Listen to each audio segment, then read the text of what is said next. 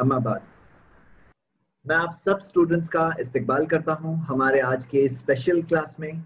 इस क्लास में इंशाल्लाह हम खास तौर से देखने वाले हैं एक बहुत ही अहम और बुनियादी टॉपिक के ताल्लुक से कुछ बेसिक बातें कुरान और हदीस की रोशनी में। मेरे ब्रदर्स एंड सिस्टर्स मैं आपके साथ अपने लाइफ का रियल एक्सपीरियंस शेयर कर रहा हूँ।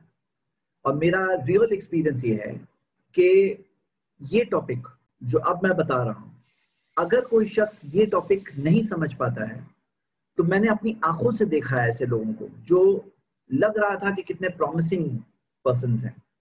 कितना ऐसा लग रहा था, कितना बड़ा काम आगे दुनिया में इंशाल्लाह ये लोग करेंगे। ऐसी फीलिंग आ रही थी। लेकिन फिर दुनिया के अंदर जो इतने सारे गुमराही के रास्ते हैं, उन गुमराही के इतने सारे रास्तों में से किसी रास्ते के वो शिकार हो गए और सही रास्ते से जो कुरान और सुन्नत का बताया हुआ रास्ता है, उससे दूर हो गए, भटक गए। ऐसी कई मिसालें आपको मिलेगी। मेरे ब्रदर्स एंड सिस्टर्स हम ये देखते हैं कि ये मौजू एक ऐसा मौजू है जिसे ना सही समझ पाना एक इंसान को एक्सपोज कर देता है बहुत सारी गुमराहियों में। और वो है टॉपिक अल जमा अल जमा से क्या मुराद है? हम आगे जाकर इस लेक्चर में देखेंगे, उसकी डिटेल समझेंगे इनशाला अब मैं सबसे पहले एक सवाल से स्टार्ट कर रहा हूँ। सवाल हम सब के लिए है। सवाल ये है कि हम सबको की तरफ़ रेफर करना है। हम सबको स्कॉलर्स की तरफ़ रेफर करना है, ये तो बात मानी हुई है। की तरफ़ रेफर करना है। कुरान हदीस में दिया हुआ है। अल्लाह ताला ने कुरान में कहा, फसलो अहल जिक्री इन कुंतुम ला पूछो इल्म वालों से, अगर तुम्हें नहीं पता। मतलब तुम्हें नहीं पता है तो पूछो तुम स्कॉलर से और हमें स्कॉलर से कनेक्ट करने सिखाया गया। उसी तरह आप देखिए कि अल्लाह के रसूल सल्लल्लाहु अलैहि वसल्लम ने उस शख्स के बारे में कहा जो इनकम्प्लीट नॉलेज के साथ में कोई फतवा देता है इनकम्प्लीट नॉलेज के साथ में कोई एक जजमेंट देता है, उसके बारे में कहा जहल के और वो शख्स जो लोगों के ऊपर फैसला करे, अला जहल मतलब बगैर प्रूफ के, जहालत के साथ फहुआ फिन्नार वो शख्स जहन्नम के आग में है। तो ये बात बताई गई कि जो शख्स अला जहल बगैर कंप्लीट नॉलेज के अगर फैसला कर रहा है, वो शख्स जहन्नम की आग में है। कई बार ऐसा होता है कि कोई टॉपिक पर हम कोई आयत जानते हैं, हम कोई हदीस जानते हैं, हमें कोई अच्छी बात पता है। लेकिन होता यह है कि अगर हमें वो चीज़ के ताल्लुक से कंप्लीट नॉलेज नहीं है तो फिर क्या होगा? फिर ये होगा कि वो चीज़ जिसका हमें कंप्लीट इल्म नहीं है और हम एक कंक्लूजन तक, एक नतीजे तक पहुँच रहे हैं, एक जजमेंट तक पहुँच रहे हैं अपने अधूरे इल्म के साथ तो वो चीज़ हमें जहन्नम की तरफ़ ले जा रही है। और खास तौर से जब ये चीज़ लोगों के साथ शेयर की जाए, ये बात ज़िंदगी में मानी जाए तो ये एक बहुत बड़ा प्रॉब्लम हो सकती है। इसीलिए बहुत ज़रूरी है कि एक आम इंसान, एक आम शख्स स्कॉलर्स के साथ कनेक्ट हो। अल्लाह के रसूल मोहम्मद ने यह भी फरमाया कि लईसा मिन्ना, वो हमारे मानने वालों में से नहीं है। मल्लम युजिल्ला कबीरना, जो हमारे बड़ों को रिस्पेक्ट ना करें, इज़्ज़त ना दें। वो यार हम सगीरना, हमारे छोटों पर रहम ना करें। वो या आरिफ ली आलिमिना हक्का, और हमारे आलिमों के हक को ना पहचाने। हमारे स्कॉलर्स के राइट को ना पहचाने। जो हमारे स्कॉलर्स का राइट है उलमा का स्कॉलर्स का राइट है, जो शख्स इन तीन चीज़ों को नहीं जानता, नहीं एक्सेप्ट करता लई समझना वो हमारे मानने वालों में से नहीं। मेरे ब्रदर्स एंड सिस्टर्स यहाँ पे जो सख्त अल्फाज है ना वो सख्त अल्फाज से इस मौजू की इंपॉर्टेंस पता चलती है कि कितना बड़ा और कितना इंपॉर्टेंट मौजू है। अल्लाह ताला ने भी कुरान में फरमाया सूर्य निसा में सूरह चार आयत नंबर 59 या युल्लदीन आमनु, ए ईमान वालों, अतीउल्लाह, अल्लाह की फरमा बरदारी करो, वो अती रसूल रसूल की फरमा बरदारी करो, वो उलिल अमरी मिनकुम, और तुम में जो इख्तियार वाले हैं, उनकी भी बात मानो तुम। मतलब जो तुम्हारे स्कॉलर्स हैं, इल्म वाले हैं, उनकी भी बात मानो तुम। तो मेरे ब्रदर्स एंड सिस्टर्स यहाँ पे बात यह है कि अगर कोई शख्स अतीउल्लाह वती रसूल के साथ थर्ड पे नहीं रिफर करेगा। वो अगर उलमा के राइट को नहीं पहचानेगा, अगर वो अपनी ही अधूरे इल्म के साथ में खुद ही एक मुफ्ती बना रहेगा, खुद ही अपने दीन की बातें अखस करता रहेगा अंडरस्टैंडिंग निकालता रहेगा, कुरान हदीस से कुछ भी बात वो निकाल रहा है, कल ये बात निकाल ली। डू यू नो आज से चंद दिन पहले की बात है। मेरे पास एक ब्रदर आए थे जो अपने ही तौर पर कुरान से अंडरस्टैंडिंग निकाल रहे हैं। और उनकी, उनका नतीजा क्या था पता है? एक कुरान की आयत से उन्होंने ये नतीजा निकाला कि मोहम्मद बनी इसराइल में से थे। कैन यू बिलीव इट नबी बनी इसराइल में से थे। और एक ये नतीजा निकाला कि कुरान जो है, ये मोहम्मद को ही नहीं दी गई पिछले नबियों को भी दी गई थी किताब। मतलब अगर एक इंसान खुद ही निकालने पे आ जाए ना तो कोई आयत से कोई मीनिंग निकाल कर कहाँ से कहाँ एक इंसान पहुँच जाएगा, उसकी कोई गारंटी नहीं है। तो ये यहाँ पे क्या है? नबी सल्लल्लाहु अलैहि वसल्लम ने फरमाया लईसा मिन्ना वो हमारे मानने वालों में से नहीं है। और तीसरी तीसरी चीज़ क्या ज़िक्र की? वह आलिमिना हक्का तो स्कॉलर्स की तरफ़ एक आम आदमी को रिफर होना ही होना है, उसमें कोई शक नहीं। क्योंकि अब पता नहीं है तो क्या है? फसलू अहल दिक्री, पूछो इल्म वालों से। तुम्हें नहीं पता है ना? तो ऐसा नहीं कि कुछ भी करो। तुम्हें नहीं पता है तो जो समझ में आए वो करो, ऐसा नहीं कहा अल्लाह ताला ने। अल्लाह ताला ने फरमाया कि जब तुम्हें नहीं पता है तो फसलु अहल दिक्री इनको तुम ला तो ये एक बुनियादी कायदा है। लेकिन यहाँ पर एक और प्रॉब्लम आ जाता है। प्रॉब्लम ये आता है कि हम तो जानते हैं ज़िंदगी एक इम्तिहान है। ज़िंदगी टेस्ट है। और टेस्ट में क्या होता है कि इतने सारे जो मज़हब है ना, दुनिया में देखेंगे, इतने सारे रिलीजन हैं। इतने सारे रिलीजन में एक इंसान दुनिया में आता है, किसी ना किसी मज़हब में होता है वो। कोई ना कोई मज़हब का फॉलोअर होता है। और वो किसी ना किसी मज़हब को फॉलो कर रहा है। अब उसमें बहुत हाई चांसेस है कि वो किसी गलत रास्ते में पैदा होगा। वो कोई गलत रास्ते में पैदा होगा, कोई गलत चीज़ करते हुए पैदा होगा, कोई गलत इबादत करते हुए पैदा होगा, कोई गलत सिस्टम को फॉलो करते हुए पैदा होगा। ना मतलब पैदा होगा मतलब पैदा तो फितरत पे ही होता है, लेकिन जो माशरे में वो पलता है, बड़ा होता है, अपनी आँखें खुलता है, जिसमें से समझ लेता है, वो बहुत ज़्यादा चांसेस है कि गलत रास्ते पे हो। लेकिन हम क्या देखते हैं? इस्लाम ने ये सिखाया सूर्य अल इमरान की आयत नंबर 85 है, अल्लाह ताला ने बताया, कुरान की आयत है वो मैं यब गैर इस्लामी दीन जो इस्लाम के अलावा कोई और दीन चाहेगा फलन युकबल मिन उससे कभी कबूल नहीं होने वाला तुम अगर इस्लाम के अलावा कोई और दीन चाहते हो तो कभी कबूल नहीं होने वाला वह हुआ फिल आखिरत मिनल खासरीन आखिरत में वो उन लोगों में हो जाएगा जो नुकसान में है खसारे में है जो बर्बाद हैं वो लोगों में हो जाएगा वो शख्स तो हम ये देखते हैं कि इस्लाम के अलावा कोई और रिलीजन अगर हम चाहेंगे फल युकबल में हूँ कभी कबूल नहीं होने वाला आखिरत में नुकसान और खसारे में हो जाएगा तो हम देखते हैं ये है क्या ये एग्ज़ाम है एग्ज़ाम है ये. सिलेक्ट द राइट आंसर सही जवाब चुनो. आप देखो, अल्लाह ताला ने आपको फितरत पे पैदा किया, सोचने के लिए अकल दी, देखने के लिए अल्लाह ताला की कई सारी निशानियाँ हैं, और हक बात हमेशा वाज होगी. यहाँ तक कि अल्लाह ताला ने आलम अरवाह में इंसानों से कहा अलई सभी रब को कि मैं तुम्हारा रब नहीं हूँ. और सबने कहा, कालू बला शहीद ना हाजा. कि हाँ ए मेरे रब, ए हमारे रब, हम इस बात की गवाही देते हैं. शहीद ना, हम इस बात की गवाही देते हैं। तो सारे इंसानों ने गवाही दी और दुनिया में आए। अब भले ही वो चीज़ की मेमोरी नहीं है, लेकिन पैगाम तो अंदर नफ्स में मौजूद है। हम सबके नफ्स में वो पैगाम तो मौजूद है। तो इंसान को चाहिए कि पहचाने कि भाई तुमने अपने हाथ से ये मूर्ति बनाया हो। तुम एक इंसान हो और तुम एक बेजान सी मूर्ति की तुम इबादत करोगे, पत्थर की इबादत इबादत करोगे।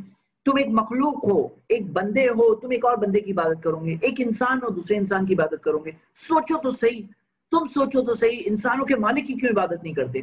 तो इंसानों को सही रास्ते पे आना है, इम्तिहान है ये, एग्ज़ाम है। अब यहाँ पर जब मुसलमानों में आते हैं तो यहाँ पर भी बहुत सारे अलग अलग किस्म के उलमा है। उलमा की तरफ़ रिफर करो पॉइंट तो आ गया स्टार्टिंग में। लेकिन उलमा में हर ग्रुप के अपने अपने उलमा है। ये चंद ग्रुप्स आपके सामने मैंने ज़िक्र किए यहाँ पर। कई सारे ग्रुप्स कई सारे ग्रुप्स सबके अपने अपने उलमा। और हर ग्रुप का अपना एक मनहज होता है, एक तरीकेकार होता है, एक फॉर्मूला होता है, एक मेथोडोलॉजी होती है। सबके सबका अपना एक तरीकेकार है।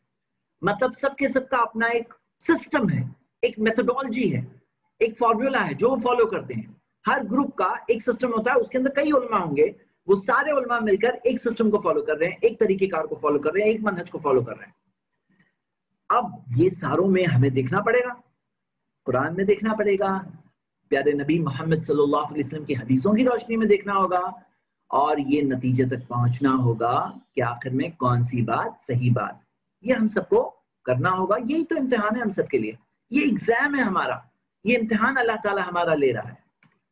अब इस बात पर बाज लोग ये कहते कि ये क्या है? ये भी तो एग्ज़ाम है, इम्तिहान है सिलेक्ट द राइट आंसर। आपने एक बार किया, इस्लाम तक आए, अब और एक बार करो। देखो ये सारे रास्तों में क्या चीज़ सही है, क्या चीज़ गलत है। पहचानना होगा। बाज लोग जब ये कहते हैं ना कि नहीं नहीं, ये सब नहीं होना चाहिए, एक ही होना चाहिए, सब एक। अगर दुनिया में एक ही मज़हब होता तो अच्छी बात थी ना। एक ही मज़हब तो है नहीं ना, बहुत सारे मज़हब हैं, बहुत सारे रास्ते हैं। उसी तरह मुसलमानों में भी बहुत सारे हैं। ये तो ऐसी बात है, जैसे एक एक मिसाल दे रहा हूँ, आपकी स्क्रीन पर है। कि सिलेक्ट द राइट आंसर एक एग्ज़ाम है सिलेक्ट द राइट आंसर लेकिन नीचे एक ही ऑप्शन दिया है। और कोई स्टूडेंट क्या है मुझे एक ही ऑप्शन चाहिए और मैं उसी पर जाके अपना टिक लगा लूँगा। तो हम लोग क्या कहेंगे? क्या हम लोग ये कहेंगे? हम्म, बहुत अच्छी आइडिया है। या हम ये कहेंगे एग्ज़ाम ऐसे नहीं होता है। एग्ज़ाम में रॉन्ग आंसर दिए हुए होते हैं और जानबूझ के होते हैं वहाँ पर। डेलिबरेटली डाले जाते हैं। टीचर ने बाय मिस्टेक वहाँ नहीं डाले हैं। टीचर ने सोच समझ के जानबूझ के डाला है और आप सब स्टूडेंट से बात तो जानते ही हैं। कि एग्ज़ाम्स के अंदर आप लोगों को कितने सारे रॉन्ग आंसर्स का सामना करना पड़ता है और सही जवाब चुनना पड़ता है। हमारे एग्ज़ाम्स भी कोर्स के जो हो रहे हैं। तो ये तो एक एक एग्ज़ाम है ये, इम्तिहान है ये। और एक ऑप्शन के ताल्लुक से हम ये देखते हैं कि इस्लाम ने ये सिखाया कि आपको एक ऑप्शन तो सही मिलेगा। मतलब क्या? मतलब क्या? अल्लाह के रसूल मोहम्मद की मैं दो हदीसें आपके सामने रख रहा हूँ। पहली हदीस सुनन तिरमिजी की, हसन सनत से आई हुई हदीस। अल्लाह के रसूल मोहम्मद ने फरमाया तफ्तरिकु उम्मती सबीना मिल्ला मेरी उम्मत तिहत्तर फिरकों में बटेगी कुल्लुहुम फिन्नार सब के सब जहन्नम जाएँगे इल्ला मिल्लत वाहिदा सिवाय एक मिल्लत के एक गिरोह के एक ग्रुप के और फिर नबी सल्लल्लाहु अलैहि वसल्लम से सहाबा ने पूछा कालू अमन ही या रसूलुल्लाह रसूलुल्लाह सल्लल्लाहु अलैहि वो कौन सा ग्रुप होगा तो अल्लाह के रसूल मोहम्मद वसल्लम ने फरमाया मा अना अलैहि वसहाबी जिस पर मैं हूँ और मेरे सहाबा है जो जिस पर नबी सल्लल्लाहु अलैहि वसल्लम और नबी सल्लल्लाहु अलैहि वसल्लम के सहाबा है वो ग्रुप कामयाब ग्रुप है मतलब 73 में से एक कामयाब मिलेगा। ऐसा नहीं होने वाला है कि सब के सब रॉन्ग ऐसा नहीं होने वाला। और एक और हदीस देखिए, ये बहुत प्यारी हदीस है, सही मुस्लिम की हदीस नंबर 1920 है। ला तजालु अलल हक। मेरी उम्मत में एक गिरोह रहेगा ज़ाहिरीन अलल हक, जो क्लियरली हक पर होगा। मतलब एक ग्रुप तो रहेगा ही रहेगा नबी सल्लल्लाहु अलैहि वसल्लम की उम्मत में जो क्लियरली हक पर होगा, ज़ाहिरीन हक, ला यदुरहुम जो लोग उन्हें छोड़ेंगे, वो लोग उन्हें नुकसान नहीं पहुँचा पाएँगे। यहाँ तक आके अल्लाह का फैसला आ जाए, यानी यहाँ तक आके कयामत आ जाए, वहम कदालिका और वो लोग इसी तरह से होंगे। मतलब नबी सल्लल्लाहु ने पेशन गोई की पेशन गोई की कि अल्लाह के रसूल मोहम्मद वसल्लम की उम्मत में एक ग्रुप तो रहेगा जो जाहिरीन अल हक और ये पेशन गोई यकीनन इल्म गैब के तहत तौर पर अल्लाह ताला ने जो उन्हें इल्म दिया उसमें से ये बात थी ताकि इंसानों के लिए एक बात हो एक, एक निशानी है। और ये हुआ ये हुआ नबी सल्लल्लाहु अलैहि वसल्लम की पेशन गोई पूरी हुई और हम देखते हैं कि मुसलमानों में ग्रुप्स बने। ये नहीं कहा गया बनाओ ये कहा गया है कि तुम सब मिलो आपस में मिलो हक पर हक पर सब के सब यूनाइटेड रहो। ये बात कही गई है। लेकिन फिर भी ये बात हुई यहाँ पर भी ये फिरके आए ये उसी पेशन गोई जो पेशन गोई नबी सल्लल्लाहु अलैहि वसल्लम ने की थी कि तिहत्तर फिरके होंगे उसका एक तरह का प्रोफेसी का फुलफिलमेंट है। मतलब वो चीज़ हुई हालाँकि एक अच्छी चीज़ नहीं थी पसंदीदा चीज़ नहीं थी लेकिन ये एक हार्श रियलिटी है ये बात हुई। लेकिन नबी वसल्लम की ये पेशन गोई भी पूरी हुई है हर जमाने और दौर में कि नबी वसल्लम ने कहा एक ग्रुप तो रहेगा जहरीन अल यानी ऐसा नहीं होने वाला है कि एग्ज़ाम में गए और आ, सारे के सारे आंसर्स रॉन्ग मिल रहे हैं। मतलब सिलेक्ट द राइट आंसर एक भी आंसर राइट नहीं है, ऐसा नहीं होने वाला। सब के सब आंसर रॉन्ग हो गए, ऐसा नहीं होने वाला है। अब हम ये देखते हैं कि बाज लोग ये सही रास्ता सिलेक्ट करने में कुछ मिस्टेक्स करते हैं। कुछ मिस्टेक करते हैं, जो मिस्टेक मैं आपको बस सिर्फ़ क्विकली बताना चाहता हूँ, ताकि हम लोग इन इन मिस्टेक्स के ताल्लुक से आगाह हो जाए, हम ये मिस्टेक ना कर बैठे बाज लोग ये कहते हैं, सब सही है। सब के सब सही है।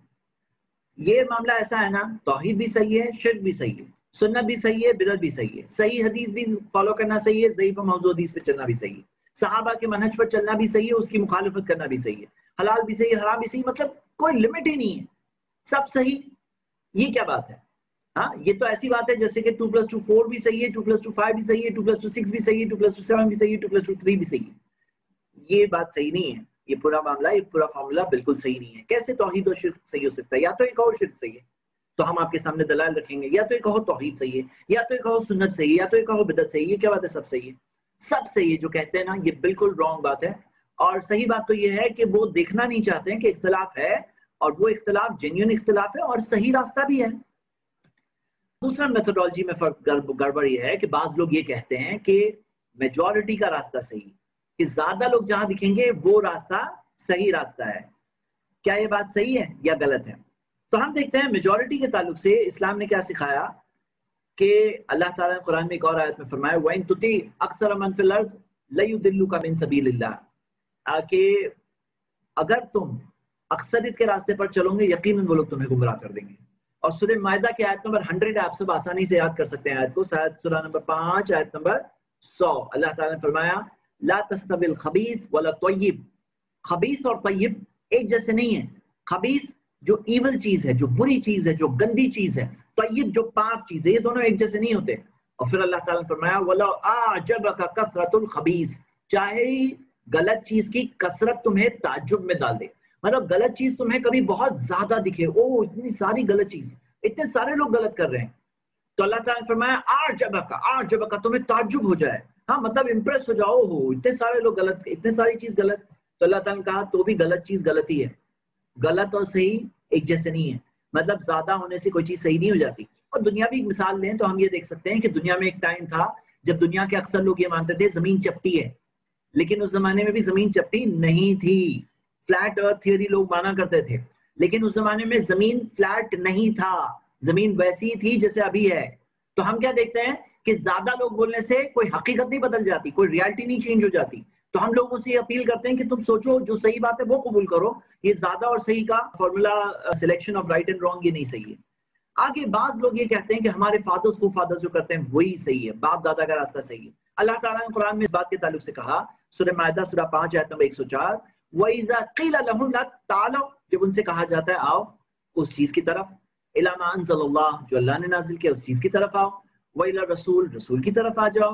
कालू वो कहते हैं हसबना मा वजन्ना अलैहि अबाना वो कहते हैं हमारे लिए काफ़ी है जो हम अपने बाप दादा को करते पाए हमारे बाप दादा जो कर रहे थे ना वही काफ़ी हमारे लिए तो अल्लाह ताला अवल काना अबाहुम ला यालमुना शैया उनके बाप दादा के पास किसी चीज़ का इल्म नहीं था तो भी अब कितने ताजुब की बात है कि उनके बाप दादा नहीं जानते थे तो भी उनकी बात को नहीं छोड़ोगे और अल्लाह ताला वला और वो लोग हिदायत पर नहीं थे तो भी मतलब तुम्हारे बाप दादा सही रास्ते पे नहीं थे, नहीं जानते थे तो भी तुम उनके रास्ते पे चलोगे। कितनी ताजुब की बात है। अब सोचो कोई अगर शख्स आज कहे कि मेरे दादाजी धोती पहनते थे, मैं भी धोती ही पहनूँगा। और कोई शख्स कहे, मेरे दादा ने आज तक मोबाइल नहीं इस्तेमाल किया, एरोप्लेन में सफ़र नहीं किया, मैं भी नहीं करूँगा। और बिज़नेस के अंदर कोई कहे कि मेरे दादा के जमाने में दुकानें ऐसी हुआ करती थी, या हम लोग बिज़नेस यही पुराने तरीके से करते थे, अब मैं वैसे ही करूँगा, दादा के रास्ते पे हूँ। अजीब बात यह है ना कि ये दुनियावी मामला में लोग दादाजी, परदादा का रास्ता नहीं लेंगे। क्यों मालूम है?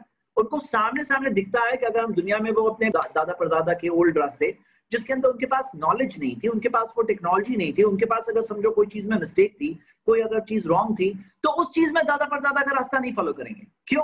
क्योंकि उसमें सामने सामने लॉस दिखता है। उसमें सामने सामने लॉस दिखता है। लेकिन रिलीजन की जहाँ बात आती है ना तो वहाँ पे लोग कहते हैं, हमारे दादा ये करते थे, हमारे पूर्वज ये करते थे, हमारे फैमिली में यही किया जाता है, हमारे खानदान में यही किया जाता है। तो ये गलत सिस्टम है। मतलब सही और गलत की पहचान ना ये सोच करो कि सब सही है, ना ये सोच करो कि ज़्यादा लोग जो कर रहे हैं मैं भी वही करूँ, ना ये सोच करो कि मेरे बाप दादा कर रहे हैं वही है। और बाज लोग ये कहते हैं, जो मुझे अच्छा लगता है मैं वो करता हूँ। ये भी बात गलत है, क्योंकि लगना क्या बात है? भाई, लगना, आपको पता है कुरान में अल्लाह ताला ने फरमाया सूर्य बकरा के आयत नंबर 216 वसान तक रहू शयन बहुवा खैरुल लकुम। हो सकता है तुम्हें कोई चीज़ बुरी लगती है और तुम्हारे लिए अच्छी है। वो आसान तो हिब्बु शयन बहुवा शरुल लकुम। तुम्हें हो सकता है कोई चीज़ अच्छी लगती है और तुम्हारे लिए बुरी है। अल्लाह जानता है, तुम लोग नहीं जानते। अल्लाह जानता है, हम नहीं जानते।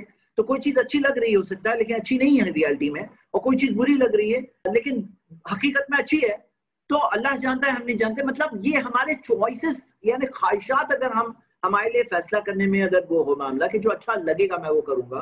तो एक इंसान बहुत सारी गलत चीज़ें करेगा। उसे चाहिए कि हक को तलाशे, जो हक बात है, वो ज़ाहिर और क्लियर दिखेगी, उसके क्लियर प्रूफ दिखेंगे। वो प्रूफ वाली सच्ची बात, सही बात को एक्सेप्ट करें। ये सही तरीका है। एक और चीज़ है कि बाज लोग कुरान की ये आयत सूर्य आल इमरान की आयत बताते हैं सूर्य तीन, आयत नंबर एक सौ तीन, और इसमें कहते हैं कि देखो अल्लाह ताला ने कहा वाह तसीमु बिहब्लिल्लाहि जमीअन वला तफरकू। तुम सब के सब अल्लाह की रस्सी को थामे रहो, आपस में बटे हुए ना रहो। कहते हैं कि देखो, अल्लाह ताला ने कहा कि आपस में बटे हुए ना रहो। तो हम सबको आपस में बटना नहीं चाहिए और हम सबको एक हो जाना चाहिए। देखिए, गौर करिए, आयत पर गौर करिए। मैं आपको बताना चाहता हूँ, आयत पर गौर करिए। अल्लाह ताला ने क्या फरमाया कि वा तसीमो बिहबलिल्ला अल्लाह की रस्सी को थामे रहो। मतलब ऐसे नहीं कुछ भी करो, दो और दो चार, दो और दो पाँच, दो और दो छह, ये करके तुम बन जाओ एक।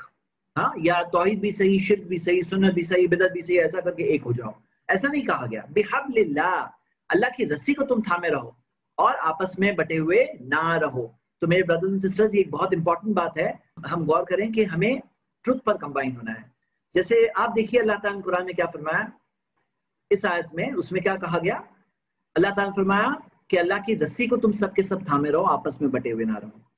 मतलब कहा गया है कि कुरान और हदीस पे जब हमें कंबाइन होना है, देखिए कुरान ने हमें अल्लाह अल्लाह ताला की जो रसी है, वो उसमें हमें ये भी सिखाया गया है कि हमें अल्लाह के रसूल शासन की बातों को मानना है, हमें सहाबा और सलफ की तरफ़ रेफर करना है। फ़ैन आमनो बिमिसली मामन तुम भी फ़दी तदो। अगर वो लोग ईमान लाए, जैसे तुम लोगों ने सहाबा ने ईमान लाया तो हिदायत पर है।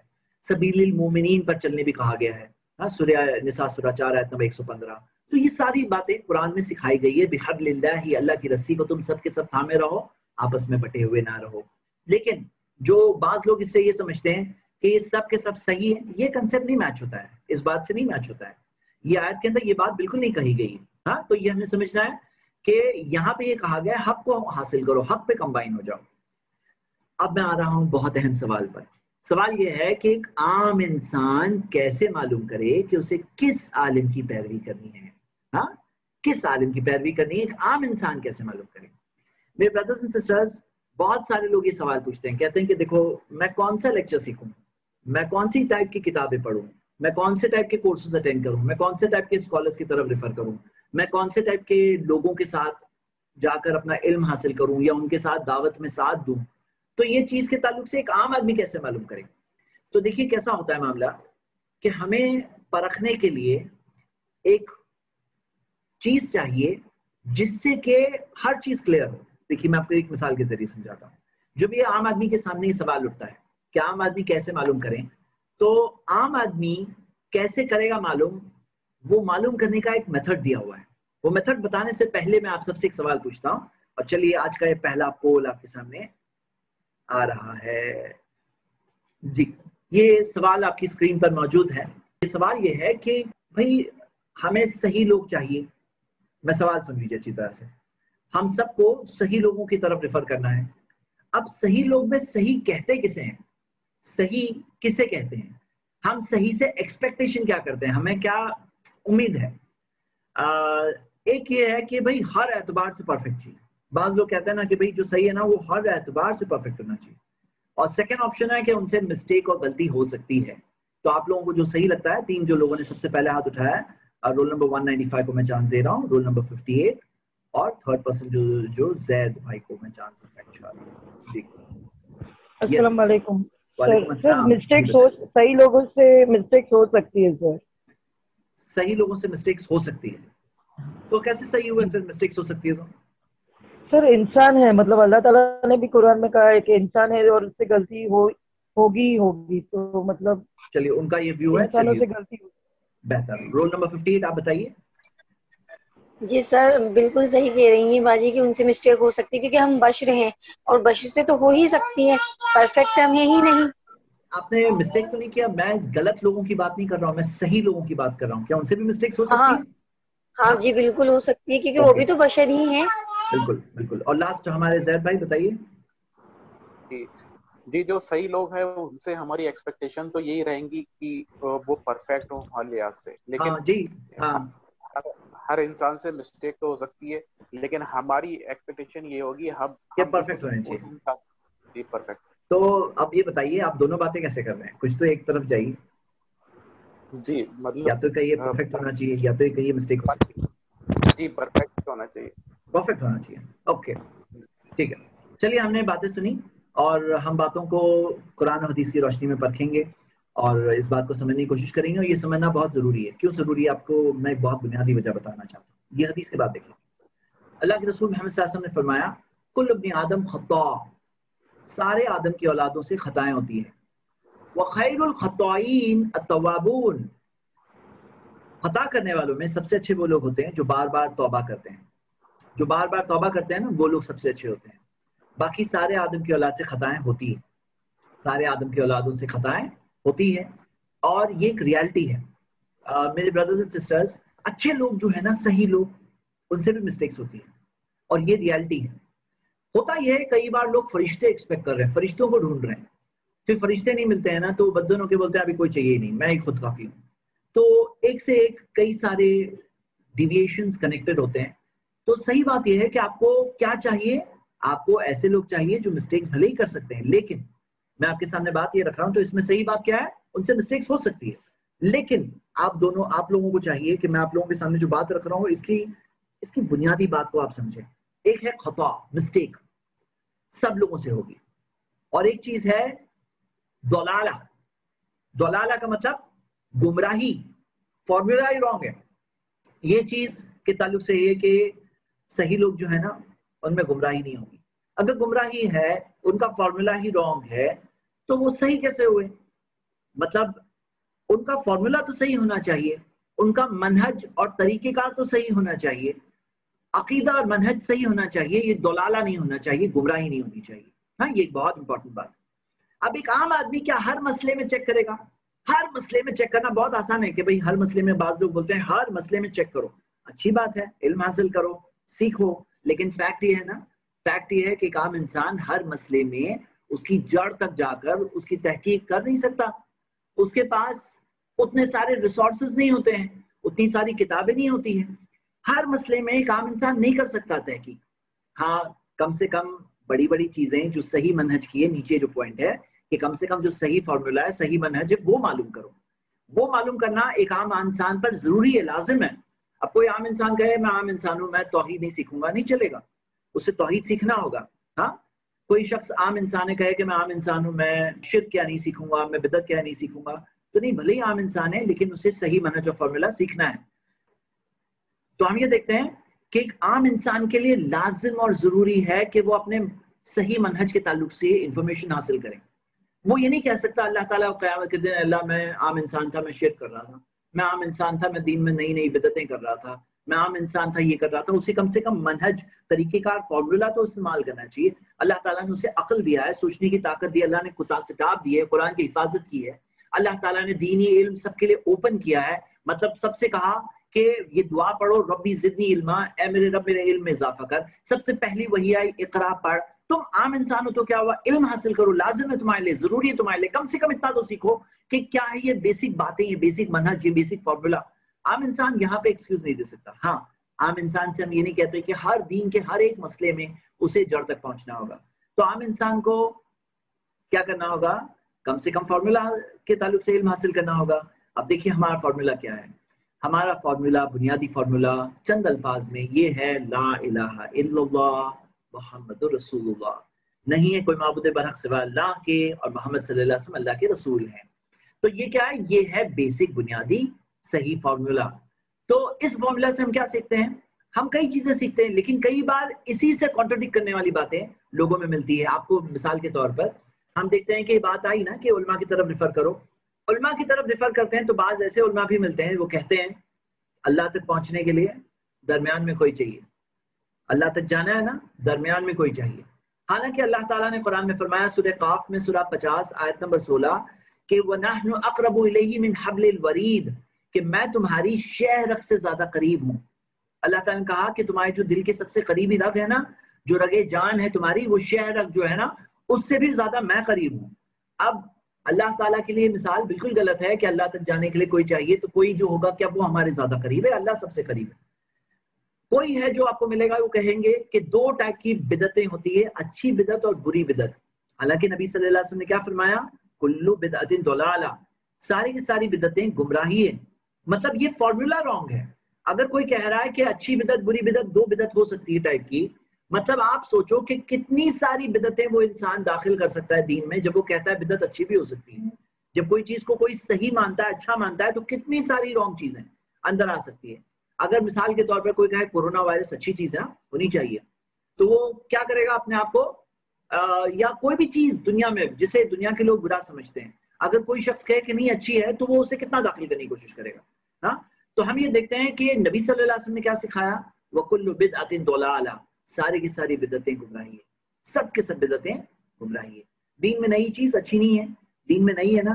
दलाला है गुमराही है बाज ऐसे भी आलम मिलेंगे, आपको कहेंगे कि हदीस तो हदीस है। सही हो जयीफ हो, मौजू हदीस ही है ना? हालाँकि नबी वसल्लम ने नहीं सिखाया। नबी वसल्लम ने सिखाया, मन कतबा अलैया मुतामिदन फलियतबवा मक़दहु मिनन नार जो मेरे नाम में जान जानबूझकर कोई झूठी बात मंसूब करेगा, अपने लिए जहन्नम की आग में जगह बना लेगा। मतलब नबी सल्लल्लाहु वसल्लम के नाम में कोई झूठी बात अगर हम बताएँ तो ये इतना बड़ा गुना है कि जहन्नम की आग में जगह फिक्स हो जाती है मकद, जगह फिक्स हो जाती है नबी वसल्लम के नाम में बात करने से। अब अब किस बुनियाद पे लोग कहते हैं हदीस तो है ना? हदीस तो है। ये नहीं कहा नबी वसल्लम ने कहा हदीस तो है। ये कहा कि तुम्हारे लिए जहन्नम की आग में जगह फिक्स हो जाएगी। उसी तरह, बाज लोग कहते हैं कि कुछ भी हो जाए हमारे फला इमामों की बात तुम नहीं छोड़ सकते। कुछ भी हो जाए। हालाँकि ऐसा मकाम देना कि उनकी बात को फाइनल नहीं छोड़ सकते तो अल्लाह ताला ने क्या फरमाया? वो लोगों ने जूस और क्रिश्चियंस ने यहूद नसारा ने अपने अहबार और रुहबान अपने पादरियों और, और रबाइस को प्रीस को उन्हें रब बना दिया अल्लाह के अलावा। अगर अल्लाह के कलाम कुरान के ऊपर रख देते हैं उनकी बात को, नबी सल्लल्लाहु अलैहि वसल्लम की हदीसों के ऊपर किसी भी इंसान की बात को रख देते हैं तो ये रब बनाना हो गया, रब बनाना। अरबाब मिंदुल्ला जैसे कि रब बना दिया अल्लाह के अलावा। तो आप देखो कि यहाँ पर कितनी सारी चीज़ें हैं जो रॉन्ग है। बाज ऐसे भी लोग आपको मिलेंगे, वो सहाबा को गलत कहते हैं। सहाबा के ताल्लुक से गलत बातें कहते हैं। हालाँकि अल्लाह ताला ने कुरान में फरमाया रोदी अनहुम व रदुआन आपको ऐसे भी लोग मिलेंगे जो कहते हैं कि देखो ये कुरान, हदीस का इल्म करेंगे ना, तुम सीखोगे तो तुम गुमराह हो जाओगे हाँ ये आम आदमी नहीं समझ सकता। बोलते हैं कि हदीस तो जंगल है जंगल, वहाँ जाके भटक जाओगे। और कुरान आम आदमी पढ़ ले तो तो गुमराह हो जाएगा। ऐसी कई बातें, कितनी गलत बातें हैं। हालाँकि अल्लाह ताला ने कुरान में क्या फरमाया? वलकद लिद्धिक्रि फहल में मुद्दकिर। कि मैंने कुरान को समझने और याद करने के लिए, ज़िक्र के लिए, नसीहत के लिए आसान बनाया है। कुरान को अल्लाह ताला ने आसान बनाया है। फहल में मुद्दकिर कौन है जो नसीहत हासिल करेगा? कुरान में चार बार ये बात कही गई है। और नबी सल्लल्लाहु ने क्या सिखाया? तलबुल फरीदतुन अला कुल्ली मुस्लिम। इल्म हासिल करना फ़र्ज़ है हर मुसलमान के लिए। तो मेरे ब्रदर्स एंड सिस्टर्स ये बात हमें मिल रही है। अच्छा कुरान के ताल्लुक से मैं एक बात बता दूँ आप लोगों को यहाँ पर कि एक मिस्टेक है लोगों में। क्या मिस्टेक है? एक तरफ़ वो लोग हैं जो कहते हैं कुरान, हदीस आम आदमी नहीं समझ सकता। कुरान को कोई नहीं समझ सकता। ये आम आदमी के लिए है ही नहीं। ये बस उलमा पढ़ेंगे। बाकी आम लोगों को पढ़ने की कोई ज़रूरत नहीं उन्हें कोई समझने की ज़रूरत नहीं। समझ भी नहीं सकते वो लोग। एक तरफ़ वो लोग दूसरी तरफ़ वो लोग जो कहते हैं, आम आदमी सब कुछ समझ सकता है। हालाँकि सही रास्ता दरमियान का रास्ता है। आम आदमी नसीहत हासिल कर सकता है। लेकिन कुरान में अल्लाह ताला ने सूर्य अंकबूत में क्या कहा? वतिल कल अमसालु नदरिबुहा लिन्नास वमा याकिलुहा इल्ला आलिमून।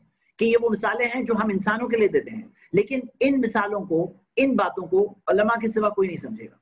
मतलब जो मिसालें कुरान के अंदर है, अल्लाह ताला ने वो मिसालों के बारे में कहा, वमा इल्ला इन्हें, इन मिसालों को उलमा के सिवा और लोग नहीं समझने वाले। मतलब दोनों एक्सट्रीम्स के दरमियान में सही रास्ता है। क्या आम आदमी के लिए भी नसीहत के लिए कुरान यकीन किताब अल्लाह की। अफहल में मुद्दकिर कौन है जो नसीहत हासिल करेगा? कौन है जो बात सीखेगा उसमें से? तो ज़िक्र। के लिए, नसीहत के लिए अल्लाह ने आसान बनाया है। लेकिन उसमें ऐसी बातें भी है जो स्कॉलर समझ पाएँगे और वो हमें समझा पाएँगे। और ये बात कुरान में दी गई है। यानी दो एक्सट्रीम्स के बीच में सही रास्ता है।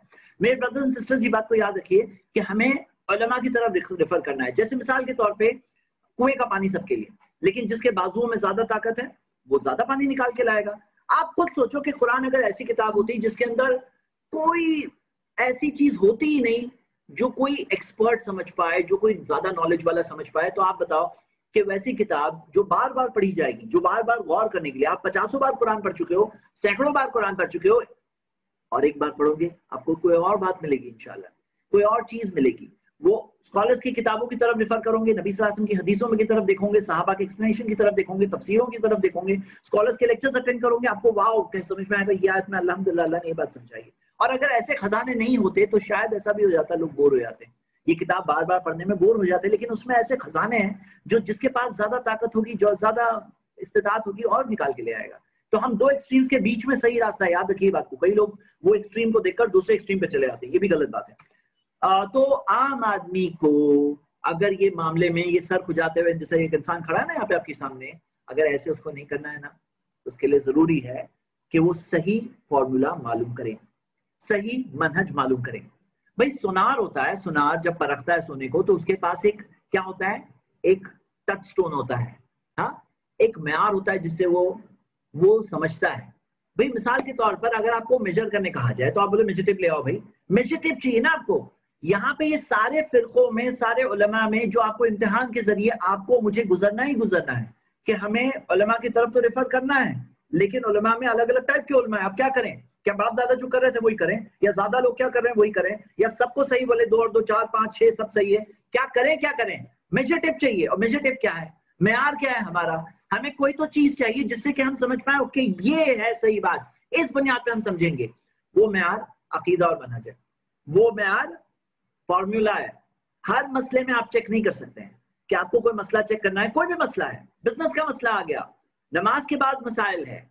और वज़ू के तहारत के ताल्लुक से मसाइल है। निकाह और तलाक के बाद मसाइल है। देखो, इल्म हासिल करो, अच्छी बात है। इल्म हासिल करिए। लेकिन रियलिटी ये है, हर आदमी स्कॉलर नहीं बन सकता है। तो स्कॉलर्स की तरफ़ रिफर करना है। आप क्या करेंगे? किसकी तरफ़ रिफर करेंगे? किसकी तरफ़ रिफर करेंगे? या आप ये सोचते हो कि सब रॉन्ग है? तो ऐसा भी नहीं है। अल्लाह ने अल्लाह के रसूल ने कहा, एक गिरोह रहेगा जाहिरीन हक। 73 में से एक जो होगा, वो वो नाजी फिरका होगा, वो महफूज फिरका होगा, जो कामयाब होगा, जो सही रास्ते पे होगा, जो जन्नत जाने वाला है। नबी साहब ने फरमाया, एक गिरोह तो रहेगा, जाहिरीन हक क्लियरली हक पर होगा। वो एक तो रहेगा, मालूम तो करना होगा ना। तो देखिए मेरी ब्रदर्स सिस्टर्स आम इंसान के पास कोई रास्ता ही नहीं है, जब तक वो सही मनहज मालूम ना करे। जब तक वो तोहीद क्या है शिरक क्या है? तोहिद को सही ना माने शिर को गलत ना समझे। सुन्नत पे चलना सही ना माने बिदत करना गलत ना समझे। सही हदीस पे चलना सही ना माने, जईफ मौजूद हदीस पे चलना गलत ना समझे। जो साहबा के मनज पे करना, चलना सही ना माने और साहबा के मनज की मुखालफत करना गलत ना समझे। जो उलमा की तरफ़ रुजू तो करे, उलमा के मकाम को तो एक्सेप्ट करें, लेकिन किसी भी आलिम की बात को कुरान और हदीस की बात से ऊपर ना रखे, जब तक सारे फॉर्मूला लेवल के सब्जेक्ट्स वो नहीं समझता, तब तक उसके पास कंफ्यूजन ही कंफ्यूजन रहेगा। वो तब तक क्लैरिटी हासिल ही नहीं कर सकता है। क्यों नहीं हासिल कर सकता है? क्योंकि वो कैसे हासिल करेगा, ये सारी दुनिया में हर के मसले में जाके चेक करेगा। उसे चाहिए मेजर ले लो भाई, तुम अपना म्यार ले लो, तुम्हारे पास टच स्टोन हो, जैसे सुनार सोने को परखता है, तुम्हारे पास कुछ होना चाहिए तो हर मसले में तुम कैसे चेक करोगे? हर मसले में चेक करोगे, या तो उल्मा को छोड़ दोगे, या तो उल्मा की तरफ़ रिफर ही नहीं करोगे, वो भी गलत है। तो सही बात क्या है कि उसके पास कोई म्यार होना चाहिए। अब आइए हम लोग यहाँ पर अगले चीज़ पे जाते हैं, हिस्से पे जाते हैं, और ये बहुत इंपॉर्टेंट बात है। और वो ये है और ये टॉपिक मैं खास आज सेकेंड टाइम इस वजह से ही ले रहा हूँ क्योंकि मुझे ये लगा कि लास्ट टाइम जब मैंने टॉपिक लिया था तो मैं आपके सामने इसके सारे जो दलाल मौजूद है उसमें से जितना लाना चाहिए था एक, एक अच्छी क्लास के लिए मैं उतना नहीं ला पाया था इसलिए मैंने ये टॉपिक फिर से लिया। कि क्या ये लेबल का इस्तेमाल गलत है या नहीं? मेरे ब्रदर्स एंड सिस्टर्स अगर हम कुरान हदीस में देखते हैं तो कुरान और हदीस में हमें मिलता है कि अलग अलग गिरोह पर उनकी खसूसियात की बुनियाद पर बास टाइटल लगाए गए मैं क्या बात कहना चाहता हूँ? यहाँ पे सवाल यह है कि ये टाइटल लगाना क्या जायज़ है, नाजायज है, सही है, गलत है? कुरान हदीस की रोशनी में बात करेंगे तो क्या ये कोई बिदत है, क्या ये कोई नई चीज़ है, क्या ये कोई ऐसी चीज़ है जो अभी आई है? या ये चीज़ है जो जायज़ है? कुरान हदीस में इसकी दलील है कि नहीं है? क्या कुरान हदीस में गुंजाइश दी गई है कि नहीं गुंजाइश दी गई है? आइए मैं आपके सामने आठ मिसालें रखू, आठ। तो फ़र्स्ट मिसाल आपके सामने है, वो है मुहाजिर और अंसार के ताल्लुक से। अल्लाह ताला ने कुरान में क्या फरमाया? सुरह तौबा, सुरह नौ, आयत नंबर सौ में।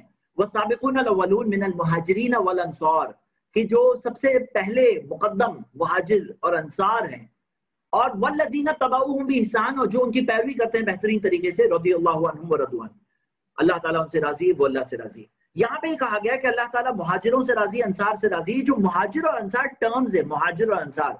आप देखिए, जैसे मिसाल के तौर पे सही बुखारी की हदीस आपके सामने है। अनस से सवाल पूछा गया इसमाल अंसार, क्या आप देखते हो ये जो नाम अंसार है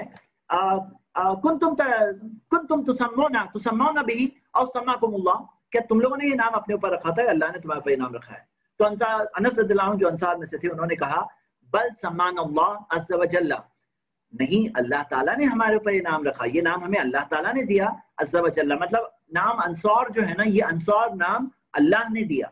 तो ये जो नाम है अंसार और मुहाजिर ये जो टाइटल है अंसार और महाजिर ये इस्तेमाल करना मुस्लिम होने के साथ साथ हमें दलील कुरान हदीस में मिल रही है। मैं आपके सामने आठ मिसालें रखने वाला हूँ। बात मैं क्या साबित करना चाहता हूँ? मैं बात ये साबित करना चाहता हूँ कि अलग अलग गिरोह पर, उनकी खसूसियात की बुनियाद पर, उनकी स्पेशल क्वालिटीज की बुनियाद पर, उनकी खास खसलतों के ताल्लुक के सिफात की बुनियाद पर उन्हें अलग अलग टाइटल दिए गए। और ये टाइटल देना गलत नहीं बताया गया। ये मैं क्यों बता रहा हूँ? इसकी बहुत बड़ी वजह है जो शायद आप समझ रहे होंगे। जी। चलिए हम आगे बढ़ते हैं कि यहाँ पे क्या ये सिर्फ़ मुस्लिम नाम हमें दिया गया है? ये जो बात कही जाती है सिर्फ़ मुस्लिम। और दलील के तौर पे कुरान की आयत पेश की जाती है, सुरह हज की जो मशहूर आयत है, सुरह बाईस आयत नंबर, सुरह नंबर ट्वेंटी टू आयत नंबर सेवेंटी एट। अल्लाह ताला ने फरमाया हुआ सम्माकुमुल मुस्लिमीन कि उसने तुम्हारा नाम मुस्लिम रखा है। मिन कबलू, वफी हादा। इससे पहले भी मतलब ये जो नाम मुस्लिम है, ये सिर्फ़ मोहम्मद की उम्मत का नहीं है। इससे पहले भी जो अंबिया गुजर चुके हैं, वो भी सब मुस्लिम थे, उनकी कौमें भी जो मुस्लिम थी, वो सब भी मुस्लिम थे। मिन कबलू, वो फ़ी हादा, पहले भी और इस किताब में भी। तो हम ये देखते हैं कि ये चीज़ अल्लाह ताला ने फरमाया हुआ सम्मा को मुस्लिम तो यकीनन, मुस्लिम तो हमारा नाम है, इसमें कोई शक नहीं। लेकिन ये जो लफ्ज सिर्फ़ है ना, सिर्फ़ मुस्लिम हमारा नाम है, सिर्फ़। ये वर्ड सिर्फ़ कहाँ है, इस आयत में बताइए। इस आयत में वर्ड सिर्फ़ कहाँ है, बताइए। नहीं है। आयत में मुस्लिम नाम है और मुस्लिम है हमारा नाम, इसमें कोई शक नहीं।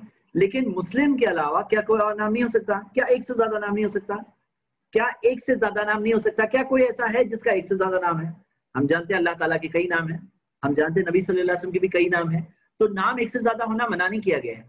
तो सिर्फ़ वर्ड यहाँ पर मौजूद नहीं है। आ, हम ये देखते हैं अल्लाह के रसूल मोहम्मद की हदीस है और यहाँ पे गौर करिए। यहाँ पे बाज लोग क्या बोलते हैं? देखो सम्मा कुम सम्मा कुम तो वहाँ पर अंसार के ताल्लुक से जो हदीस गुजर चुकी है आपके सामने इसमें क्या वर्ड थे? उसमें क्या आया? कि इस्मल अंसार अंतुम कुन तुम सम्माना भी क्या अपने आप अपने आप को इनाम दिए? अम सम्मा सम्मा वहाँ पे भी है सम्मा सम्मा क्या तुम्हें अल्लाह ने दिया? तो अंसार, अनस क्या कहा? बल सम्मान नहीं, अल्लाह ने हमारा नाम दिया। तो नाम, ये जो नाम है अंसार, नाम सम्मान यहाँ मौजूद है। तो वो भी मौजूद है। अब एक और हदीस देखिए इस ताल्लुक से। ये इसलिए ताकि हम इसमें एटलीस्ट अपने माइंड्स को ओपन करें। अल्लाह के रसूल ने फरमाया, फदुल मुस्लिमीन अस्माइहिम। मुसलमानों को उनके नामों से पुकारो। बिमा जो नाम अल्लाह ने उन्हें दिया, अज़्ज़ा व जल्ला। अल मुस्लिमीन इबादुल्लाह, अज़्ज़ा मुस्लिम, मोमिन, अल्लाह के बंदे, अज़्ज़ा तो हम देखते हैं कि मुस्लिमीन, मोमिनीन, इबादुल्लाह, ये जो इबादुल्लाह भी जो नाम है अल्लाह का दिया हुआ नाम है। मोमिन भी अल्लाह का दिया हुआ नाम है। मोमिन भी नाम है, नाम। सम्मान अल्लाह सम्माहुमुल्लाह। अल्लाह ताला ने मोमिनों को नाम दिया है। तो जो लोग कहते हैं ना, नाम सिर्फ़ मुस्लिम है दलील की रोशनी में सिर्फ़ मुस्लिम, ये वर्ड ये बात एक्चुअली साबित शुदा नहीं है। चलिए हम आगे देखते हैं। मैं आपको मिसालें दे रहा था, मैंने फ़र्स्ट मिसाल ही दी थी, वो है अंसार और महाजिर। हकीकत में एक नहीं, दो है। लेकिन हम आगे बढ़ते हैं। सेकंड मिसाल, अहले हिजरत। हाँ अहले हिजरत। हिजरत के बाद की, जो फतेह मक्का के बाद की बात है कि मुजाशे रद्दिल्लाह वो कहते हैं कि मैं अपने, मैं नबी वसल्लम के पास अपने भाई को लेकर आया। और कहा कि अल्लाह के रसूल वसल्लम, मैं अपने भाई को लेकर आया हूँ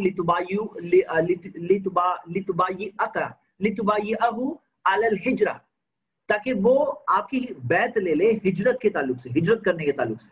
मतलब हिजरत के ताल्लुक से वादा कर रहा हिजरत करेगा। तो अल्लाह के रसूल वसल्लम ने कहा, जहबा अलो हिजरा बिमा जो हिजरत के जो फ़ायदे थे, जो वो फायदों के साथ अहले हिजरत लेकर गए वो फ़ायदे। मतलब जहबा अहलुल हिजरा जो अहले हिजरत है, अहले हिजरत, जो लोगों ने हिजरत किया, वो लोग उसके फ़ायदे को लेकर गए। तो आप खुद देखोगे, जो ये टर्म्स हम अब देख रहे हैं ना, चाहे अंसार हो, मुहाजिर हो, या आगे जो टर्म्स मैं ज़िक्र करने वाला हूँ, ये बात जब नबी सल्लल्लाहु अलैहि वसल्लम के ज़ुबान अथर से जब आ गई, उसके बाद उम्मत में ये टर्म्स कॉमन हो गए। आपको हदीस की किताबों में कॉमन मिलेगा कि ये अहले हिजरत में से थे, ये फला अहले बद्र में से थे, जो नेक्स्ट पॉइंट है हमारा। ये हदीस सही बुखारी की थी। उसी तरह अहले बद्र, मिसाल के तौर पे अल्लाह के रसूल सल्लल्लाहु अलैहि वसल्लम ने हतीब बिन अबी बलता जिनके बारे में क्या आता है कि उन्होंने जैसे कि मुसलमानों की खबर पहुँचाने की कोशिश की थी मक्का के मुशिकों तक, एक तरह की ट्रेचरी थी। लेकिन अल्लाह के रसूल सल्लल्लाहु ने उमर रदिल्लाहु को रोका उनके ताल्लुक से, कहा, इन्नहु कद शहीद बद्र ये बद्र में मौजूद थे। हतीब बिन अबी बलता बद्र में मौजूद थे। वमा युद्री का यकून अहली बदरिन। और आपको क्या पता? हो सकता है अल्लाह ताला अहले बद्र की तरफ़ देख कर कहे, फकाला फकत गफर तो लकुम जो तुम्हें करना है करो अल्लाह मैंने तुम्हें माफ़ कर दिया है इसमें बात क्या है ना कि कोई कोई अगर बहुत सिग्निफिकेंट बेहतरीन सा अमल अगर एक इंसान ज़िंदगी में करता है ना अल्लाह ताला उसकी इतनी कदर करता है कि कहीं ज़िंदगी में आगे जाकर कोई कमी भी हो जाए तो अल्लाह ताला उस नेकी की वजह से उस कमी के साथ दरगुजर मामला कर दे हमें ये बात इस हदीस से सीखने मिलती है लेकिन यहाँ पे ये बात मैं जो पॉइंट बता रहा हूँ कि पहले हदीस की शुरुआत में इन खद शहीद बदरन ये बद्र में मौजूद थे तो अल्लाह के रसूल ने बद्र में मौजूद थे, ये बात तो कह दी थी। लेकिन बाद में जो टर्म यूज़ किया कि अल्लाह ताला हो सकता है अहले बद्र की तरफ़ देखकर, अहले बद्र की तरफ़ देखकर ये बात कह दे। तो अहले बद्र का टर्म जो नबी वसल्लम ने इस्तेमाल किया, आप हदीस की किताबों में देखेंगे, ये फला साहबी अहले बद्र में से थे, या अहले बद्र में से थे, ये हिजरा में से थे। तो ये बात कॉमन मिलती है, बाद में राइज हो गई। किसने राइज की? नबी वसल्लम ने खुद राइज की। ये बात टर्म यूज़ करके, सही बुखारी की हदीस है। एक चौथी मिसाल देखते हैं हम। वो है अहले उहुद। अब देखिए अनुकबा बिन आमिर वो बयान करते हैं नबी सल्लल्लाहु अलैहि वसल्लम खरज यौमन। नबी सल्लल्लाहु अलैहि वसल्लम एक दिन घर से निकले। फसल्ला अला अहली उहुद। अहले उहुद पर उन्होंने नमाज़ पढ़ी, सलातहु अलल मय्यत। जैसे मय्यत की जनाजे की नमाज़ पढ़ते, वैसे नमाज़ पढ़ी अहले उहुद के लिए। यहाँ पे एक टर्म मिल रहा है, अहले उहुद। सही बुखारी की हदीस है। एक और अगली अगली दलील, पांचवी दलील, और वो है असहाब शजरा। असहाब शजरा। तो इसमें आता है हदीस में, इसमें हदीस में हम देखते हैं आगे डायरेक्टली जो हदीस के अल्फाज है नबी सल्लल्लाहु अलैहि वसल्लम ने फरमाया, हदीस के अल्फाज पे गौर करिए, सही मुस्लिम की हदीस है, ला यदखुलुन नार लायत खुलनार और ये बहुत एक फजीलत की भी बात है, जो असहाब शजरा जो है, असहाब शजरा कौन है? अहले बैत जिन्हें अहले बैतुर रिदवान भी कहा जाता है, अहले बैतुर रिदवान। लायत खुलनार जहन्नम में नहीं दाखिल होंगे इनशाला इनशाला मिन असहाब शजरा अहदुन, असहाब शजरा, वो जो पेड़ के नीचे बैत लिए थे ना, मिन असहाब शजरा अहदुन, असहाब शजरा, जो तकरीबन 1500 एक हदीस में आता है 1400 से 1500 लोगों ने तकरीबन 1500 सईद इब्न मुसैब का कौल है सही बुखारी मौजूद है। तो ये असहाब शजरा में से कोई एक भी जहन्नम की आग में नहीं जाएगा, नबी ने फरमाया इंशाल्लाह अल्लदीना बायऊ तहतहा, जिन्होंने पेड़ के नीचे बैत ली। तो यहाँ पे टर्म क्या मिल रहा है? असहाब शजरा। एक छठी छठी मिसाल देखिए, अहले सुफा। आप देखिए, अल्लाह के रसूल ने फरमाया कि अलहक अहल सुफा, कि जाओ अहले सुफा को बुला के आओ। फदूह मिलैया। कुछ नबी को दूध मिला था, दूध का प्याला मिला था, कहा कि उन सबको मिला के आओ। अहले सुफा, ये अहले सुफा टर्म किसने दिया? नबी वसल्लम ने दिया क्या अल्लाह के रसूल को नहीं पता था कि मुस्लिम के अलावा कोई और टर्म नहीं यूज़ कर सकते। अहले बद्र टर्म नहीं यूज़ कर सकते, अहले उहद नहीं यूज़ कर सकते, अहले हिजरत नहीं यूज़ नहीं कर सकते। असहाब शजरा नहीं यूज़ कर सकते। ये सारे जो अंसार, महाजर, ये सब भी यूज़ नहीं कर सकते, जो आज लोग कह रहे हैं, आज उनके जहन में ऐसी बात आ रही है कि सिर्फ़ मुस्लिम वर्ड यूज़ कर सकते हैं। ये बात नबी वसल्लम को क्यों नहीं पता थी कि ये सब टर्म्स नहीं यूज़ कर सकते? ये बात उन्होंने क्यों नहीं फॉलो की अपनी इस अमली नमूने के अंदर? आप ये देखिए। इसके अंदर आगे देखिए एक सातवीं मिसाल, अहले तौरात और अहले इंजील। ये क्या बात है? आप देखोगे हदीस है जिसके अंदर अहले तौरात, हदीसों में अहले तौरात, अहले इंजील, इसके ताल्लुक से आप देखोगे कि वर्ड्स यूज़ किए गए हैं। अहले तौरात और अहले इंजील। अब आप ये कहोगे कि नहीं, वो तो अहले तौरात, ये तो पहले वाले लोग हैं। लेकिन आपको पता है कि जो आयत में पता, पढ़ चुका हूँ मुस्लिमीन। अल्लाह ने तुम्हारा नाम मुस्लिम रखा है। मिन कबल वफी हाजा। पहले में भी नाम क्या था उनका? उनका नाम मुस्लिम था, फिर भी उन्हें अहले तौरात कहा गया। अहले तौरात जब आए तो उन्होंने ये किया। अहले इंजील जब आए तो उन्होंने ये किया। तो अहले तौरात, अहले इंजील जो नाम उन्हें साथ में, मुस्लिम के साथ में दिया गया, ये कोई गलत बात नहीं है। उसी तरह आप देखिए एक आठवीं और लास्ट दलील मैं इसकी दे रहा हूँ लेकिन आगे मुझे बहुत अहम बात आपके सामने रखनी है। तो अल्लाह अहले किताब आपको पता है अहले किताब क्या है? ये तो टर्म बार बार कुरान में आया कुल अहले किताब कहो अहले किताब तो ये अहले किताब जिनके अंदर मिन हुमुल मोमिनून भी अल्लाह ने कहा कि उनमें मोमिन भी है। सूर्य आल इमरान की आयत नंबर 110 में आया है बात। तो उन्हें भी अल्लाह ताला ने मुस्लिम के अलावा अहले किताब टाइटल यूज़ किया है। तो ये आठ मिसालें इसलिए ताकि हम इस बारे में वो कंफ्यूजन में ना रहे कि नाम नहीं लगा सकते। आ, लेकिन लेबल के कई फ़ायदे मैं आपको बताना चाहता हूँ। पहला फ़ायदा, जैसे आप एक मिसाल लीजिए। मान लीजिए अगर एक रोड पे नौ हॉस्पिटल्स हैं। नौ हॉस्पिटल में आठ हॉस्पिटल ऐसे हैं, वहाँ जाके पेशेंट मर रहे हैं। हाँ पेशेंट मर रहे हैं, कोई ख्याल नहीं रखा जा रहा है पेशेंट्स का। एक हॉस्पिटल ईमानदार, सच्चा, सही हॉस्पिटल है। क्या हम लोग ये नहीं कहेंगे उससे एक सही हॉस्पिटल से कि ऐसा करो, तुम कोई नाम लगा लो। एक कोई नाम लगाओ, सिर्फ़ हॉस्पिटल लिखा हुआ है ना मालूम नहीं पड़ता है। आप कुछ नाम लगाओ, ताकि हमें मालूम पड़ जाए कि अच्छा ये है फला हॉस्पिटल ये ऐसा कुछ नाम लगाओ। हम कहेंगे, क्यों कहेंगे? ताकि आइडेंटिफाई कर सके, ताकि आसानी से बता बता सके। अब आप खुद गौर करो कि हॉस्पिटल में सही हॉस्पिटल नहीं मिला तो जान चली जाएगी। लेकिन यहाँ पे जो हम बात देख रहे हैं ना, जो हम बात देख रहे हैं, अगर आदमी सही उलमा तक नहीं पहुँच पाया, अगर वो लोग अपने लिए आइडेंटिफाई करने के लिए कुछ नहीं लगाते हैं तो वहाँ, यहाँ पे तो ईमान चले जाएगा, यहाँ तो आखिरत चली जाएगी। वहाँ तो जान जाने की बात है। मतलब इसके अंदर जो बेनिफिट है, वो आप वो बेनिफिट देखें। मैं आपको एक और, कुछ और मिसाल देता हूँ। एक और मिसाल है मोबाइल के हर ब्रांड का अपना नाम होता है। अब मोबाइल अच्छा मोबाइल तो मालूम पड़ता है ना, सही मोबाइल है, सच, सही मोबाइल है अच्छा मोबाइल है गुड क्वालिटी मोबाइल है, मालूम पड़ेगा, लेकिन आम आदमी नहीं मालूम कर सकता। एक अच्छा एक्सपर्ट हो सकता है, मालूम कर भी ले, बगैर नाम के भी मालूम कर ले।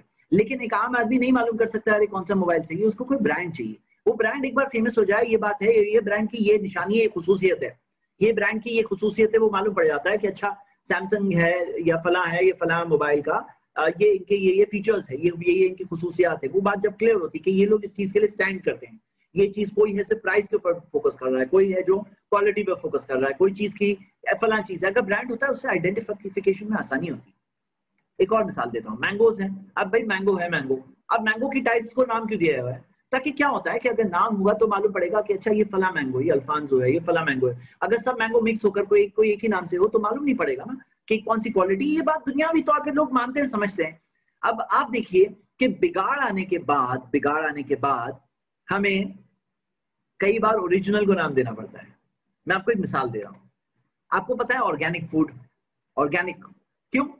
जब फर्टिलाइजर्स पेस्टिसाइड्स केमिकल्स और जेनेटिक मॉडिफिकेशन ये सब जब कॉमन होने लगे तो वो सारे करप्शन जब आने लगे। उसके ऑपोजिट में कहा कि नहीं ऑर्गेनिक सही है। ऑर्गेनिक में पेस्टिसाइड्स नहीं होते हैं केमिकल्स नहीं होते हैं। ऑर्गेनिक में ये जेनेटिक मॉडिफिकेशन नहीं होते हैं। हाँ?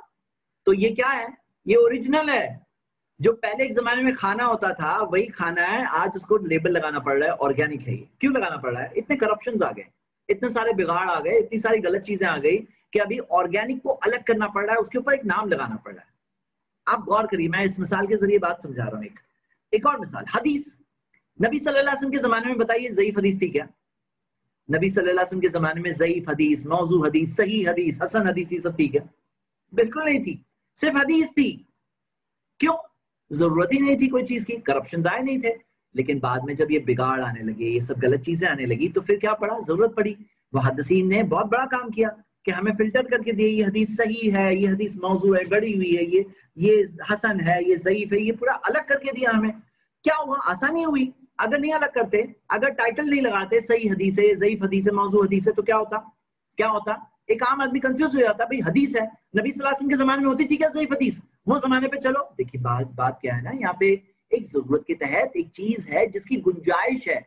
इस्लाम के अंदर गुंजाइश है कि इल्म को आम और एक्सेसिबल करने के लिए आप बना दो इजियर हाँ? अब एक और मिसाल। नबी वसल्लम के जमाने में सिर्फ़ मुस्लिम थे हाँ? लेकिन जब बिदतें आने लगी तो आपको सलफ में ही जो तीन बेहतरीन जमाने खैरुल है वो खैरुल में इटसेल्फ लफ्ज टर्म सुन्ना जो वो लोगों ने अपने ऊपर लगाया। जैसे ऑर्गेनिक लगाना पड़ा ना जैसे आ, सही हदीस लगाना पड़ा ऐसे उन्होंने अहलुस सुन्ना टर्म लगाया अपने ऊपर ताकि करप्शन से दूर करके पहचान सके। आप देखोगे ये टर्म आपको अर्ली खैरुल कुरून में खुद आ चुका था अहलुस सुन्ना का टर्म तो आप देखिए जैसे मिसाल के तौर पे मैं आपको एक मिसाल दे रहा हूँ सही इमाम मुस्लिम ने अपने इंट्रोडक्शन में सही मुस्लिम के अंदर अपने इंट्रोडक्शन में एक आ, मिसाल दी है आ, जो इब्न सीरीन का कॉल है। मुहदस बहुत बड़े मुहदस बहुत बड़े स्कॉलर ताबई।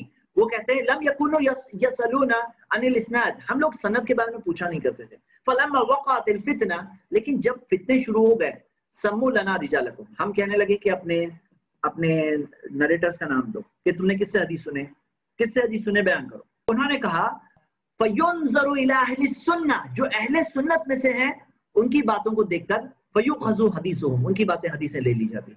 वयुनजरु इला अहली बिदा और अहले बिदत की तरफ़ देखा जाता, फला यु खजू हदीसुहुम उनकी हदीसों को नहीं लिया जाता था। तो अहल सुन्ना का टर्म कॉमन हो चुका था और जैसे फितने और बड़े इमाम अहमद वगैरह के जमाने में जब और फितने बढ़े, जब गुमराही और बढ़ी, तब ये टर्म और जाके हुआ। तो क्या वो लोग सब गलत थे क्या? हमें देखना है कि क्या वो सारे लोग खैरुल जो बेहतरीन जमाना है, वो जमाने में टर्म जो राइज हो गया, क्या वो लोगों ने बिदत स्टार्ट की? क्या 1400 साल तक ये जो हम, जो मुसलमान कर रहे हैं मोर देन 1300 इयर्स से जो मुसलमान कर रहे हैं, जो ये टर्म स्टार्ट हुआ, उसके बाद से अब तक तो वो सारे वक्त के अंदर जो हो रहा था, गलत हो रहा था। किसी को समझ में नहीं आया। अब जाकर कुछ स्कॉलर्स को समझ में आ रहा है। जो आज जाके लोग बोल रहे हैं, और ये तेरह सौ साल में कोई स्कॉलर नहीं आया, उनको समझ में नहीं आया, ये बात को गलत नहीं समझते थे। कॉमन बात थी ये इसे कोई गलत नहीं समझा जाता था। हाँ तो ये हमें सोचना चाहिए कि इसके क्या क्या फ़ायदे हैं। मैं अब आपको आठ फ़ायदे बताना चाहता हूँ। दीनी फ़ायदे, ये टर्म्स यूज़ करने के। अभी तक तो मैंने टर्म्स बताया, आठ मिसाले के टर्म यूज़ अब आठ फ़ायदे बता रहा हूँ। सबसे पहला, सबसे बड़ा फ़ायदा गुमराही से बचाने के लिए। भाई, आम आदमी को उलमा की तरफ़ रिफर करना है, और अगर उलमा नहीं है ना तो ये अलग अलग टाइप की जो गुमराही है ना हर तरफ़ दीन के नाम में जो आती है इससे कौन बचाएगा? स्कॉलर्स डिफेंड करते हैं जिनके पास नॉलेज होती है वो डिफेंड कर सकते हैं पकड़ सकते हैं पहले तो ये वायरस है ये गुमराही है ये ये शिरक है ये बिदत है ये इनहराफ है ये गल, ये गुमराही ये पहचानना ये खुद पहचानने के लिए स्कॉलर चाहिए। नंबर दो उसका रद्द करना उसका रिप्लाई देना दलाइल की बात दलाइल से जवाब देना उसके लिए स्कॉलर्स चाहिए। तो पहली चीज़ क्या होती है ना अगर आप अपनी ज़िंदगी में स्कॉलर से कनेक्ट नहीं होते हो ना तो यू आर एक्सपोज आप एक्सपोज हो, मैंने आपको मिसालें बताई ना। मैंने खुद लोगों को देखा है, जो सही रास्ते पे थे एक जमाने में। बाद में आके गलत रास्ते पे चले गए, सिर्फ़ इस वजह से, सिर्फ़ इस वजह से कि वो सही स्कॉलर से कनेक्ट नहीं हो पाए। सिर्फ़ इस वजह से। नहीं तो थे वो अच्छा अच्छा दिख रहा था वेरी प्रॉमिसिंग पीपल लेकिन गए वो सही रास्ते से। ऐसी बहुत सी मिसालें हैं। सेकेंड चीज़, और और आपने भी देखी होगी सेकेंड चीज़, दीन की सही दावत पहुँचाने के लिए। मैं आपके सामने जो हदीस यहाँ रखा हूँ ना, ये एक ऐसी हदीस है जो अगर कोई पढ़ के इस पे गौर करे ना पूरा अंदर से हिल जाएगा कि क्या बड़ी बात दी गई है। इतने छोटे से लफ्ज में बात में कितनी बड़ी बात कही गई। सही मुस्लिम की हदीस है। नबी सल्लल्लाहु ने फरमाया लाना अल्लाह अल्लाह की लानत है उस पर मन आवा मुहदिसन जो एक बिदती को पनाह दे। मतलब बिदती को पनाह दे से खास मुराद उलमा कहते हैं इससे मुराद ये है कि वो उसको दीन की उसकी बिदत फैलाने में उसकी दी, उसके दीन की जो गलत बिदती सिस्टम ऑफ़ रिलीजन है वो दीन की वो दीन की दावत में उसको सपोर्ट कर दे उसको उसको, उसका ताउन कर दे तो अल्लाह की लानत है उस पर। अब आप सोचो कि अगर इसमें वो सही लोग अगर अपने ऊपर नहीं लगाते तो यहाँ पर जो गलत लोगों के साथ आदमी ताउन कर बैठे और उसे मिलेगा क्या? दीन के नाम में वो करके उसे लानत मिलेगी। कितनी अफसोस की बात है। हाँ ये हो गई दूसरी, दूसरा नुकसान। मतलब जो नुकसान से बचने के लिए फ़ायदा क्या है लेबल से? कि ये हम दीन की दावत में सही लोग कौन है? उनका साथ देने के लिए। जैसे हॉस्पिटल को हम लोग कहेंगे ना लेबल लगाओ। जैसे मोबाइल फ़ोन लगाती है, जैसे साहबा ने अहल सुन्ना का टाइटल लगाया, या जैसे ऑर्गेनिक पे ऑर्गेनिक लगाया गया, ये सारी जो मिसालें हैं, ये ऐसी ज़रूरत यहाँ भी है, बल्कि अहले बद्र लगाने में जो फ़ायदा है, उससे बहुत ज़्यादा फ़ायदा आया था अहल सुन्ना टाइटल लगाने में, जिससे कि लोगों को मालूम पड़ा, ये अहलुल बिदा, या अहल सुन्ना है। हाँ मतलब फ़ायदे के एतबार से देखेंगे तो। यानी वो जब अलाउड है तो ये तो बदरजे उला मतलब ग्रेटर लेवल ये डेफिनेटली अलाउड होना चाहिए। आगे देखिए, एक तीसरा फ़ायदा भाई, इल्म में हमारा इल्म करप्ट हो जाएगा, अगर हम सही जगह से नहीं हासिल करेंगे। अगर आप प्योर सोर्स से पानी नहीं पियोगे, साफ़ पानी तो आपकी हेल्थ खराब हो जाएगी। तो दीन का इल्म अगर आप ऑथेंटिक सोर्स से नहीं हासिल करोगे तो क्या होगा, आपका दीन का इल्म पूरा मिक्सअप हो जाएगा। फुदैल बिन नियाज रही उनकी कितनी हिकमत वाली बातें मैं आपके सामने रख रहा हूँ। उन्होंने कहा, ला तजलिस मा साहिब बिदा। जो साहिब बिदा है, उसके साथ बैठो भी मत। बैठने से मुराद यहाँ पे सीखने के लिए बैठना। मतलब रिश्तेदार है, उससे रिश्तेदारी के तौर पर मिलना। नॉन मुस्लिम से मिलना अलाउड है। पड़ोसी के हुकूक दो पड़ोसी कोई भी मज़हब का है उसका तो हुकूक है ही इसमें कोई शक नहीं। ला तजलिस में सोहेब से मुराद कि भाई दीनी इल्म सीखने के लिए उनके साथ मत बैठो। वो कहते हैं फैनी अखाफ वंतन जिला कलाना मुझे डर है कि तुम पे भी अल्लाह की लानत ना आ जाए। मतलब जो बिदती अल्लाह की लानत उस पर आती है अब तुम उसके साथ बैठ रहे हो तो तुम पे भी अल्लाह की लानत ना आने लगे। मतलब ऐसा मामला है इसके अंदर। चौथा फ़ायदा अब वो है आ, सही अकीदा और मनज वालों की इज्तिमाइत इज्तिमाइत ये क्या है? आप ये हदीस देखिए। अल्लाह के रसूल मोहम्मद ने फरमाया फ़ालई बिल जमा तुम्हारे लिए लाजिम और ज़रूरी है कि तुम जमात को लाजिम पकड़ो। जमा ये जो जमात जो टाइटल है ना जमा इसको लाजिम पकड़ो। मतलब तुम्हारे लिए ज़रूरी है। क्योंकि इसलिए कि भेड़िया रेवर से उस बकरी, जो अलग जो बकरी अलग हो जाती है ना, कट के अलग हो जाती है, उसी को पकड़ता है, उसी को खाता है। भेड़िया किसे खाता है? जो रेवर से अलग हो जाती है, बकरी, उसी को खाता है। और इस बारे में आप ये गौर करिए कि ये जो जमा का कंसेप्ट है कि भाई सारे जो लोग हैं, वो मिल कर रहे हैं इससे दो माने ने बताया। एक माना यह है कि मुसलमानों की आम इज्तमाहीत ये भी इससे मुराद है। और इसमें मुसलमान और खलीफा, उसका सिस्टम भी मुराद है कि उससे अलग मत होना। लेकिन इसके अंदर एक दूसरी माना भी मिलती है, जैसे हमें मिलता है इब्न मसूद रहमा का कौल रदियल्लाहु का कौल है अल जमा मवाफल हक जमात वो है जो हक के मुताबिक हो, वला तवाहदक चाहे तुम अकेले क्यों ना हो। जो हक के मुताबिक है, वो जमात है। मतलब यहाँ पे वो लोग की बात हो रही है जो हक के मुताबिक है। अब मैं आप सबको एक चार्ट बताना चाहता हूँ। ये चार्ट देखिए देखिए अलग अलग टाइप की इज्तिमाइत एक है सही अकीदा और मनहज वालों की इज्तिमाइत सही अकीदा और मनहज वालों की इज्तिमाइत जैसे कि हमने इब्न मसूद के कॉल से देखा। और ये उनको मिलकर साथ में रहना चाहिए। और होता क्या है ना, जब दूसरे लोगों को देखता है ना तो आदमी को इंसान से, इनको इंसान से जज्बा मिलता है। बहुत सारे फ़ायदे हैं जो आगे पे मैं बताने वाला हूँ। सेकेंड है, सारे अहल सुन्ना की इज्तमाहीत जैसे ऐसी कोई मुसीबत हो जिसको सारे अहल सुन्नत मिलकर सामना करें, उनकी इज्तमाहीत सारे मुसलमानों की इज्तमाहीत इनमल मोमिन मोमिन भाई भाई है, ये भी एक इज्तमाहीत है। कुछ ऐसे मसाइल होते हैं, कुछ ऐसी मुसीबत होती है, सारे मुसलमानों पर आई सब मुसलमानों को अपनी पूरी इज्तमाहीत कायम करके वो इज्तमाहीत के साथ मुकाबला करना चाहिए।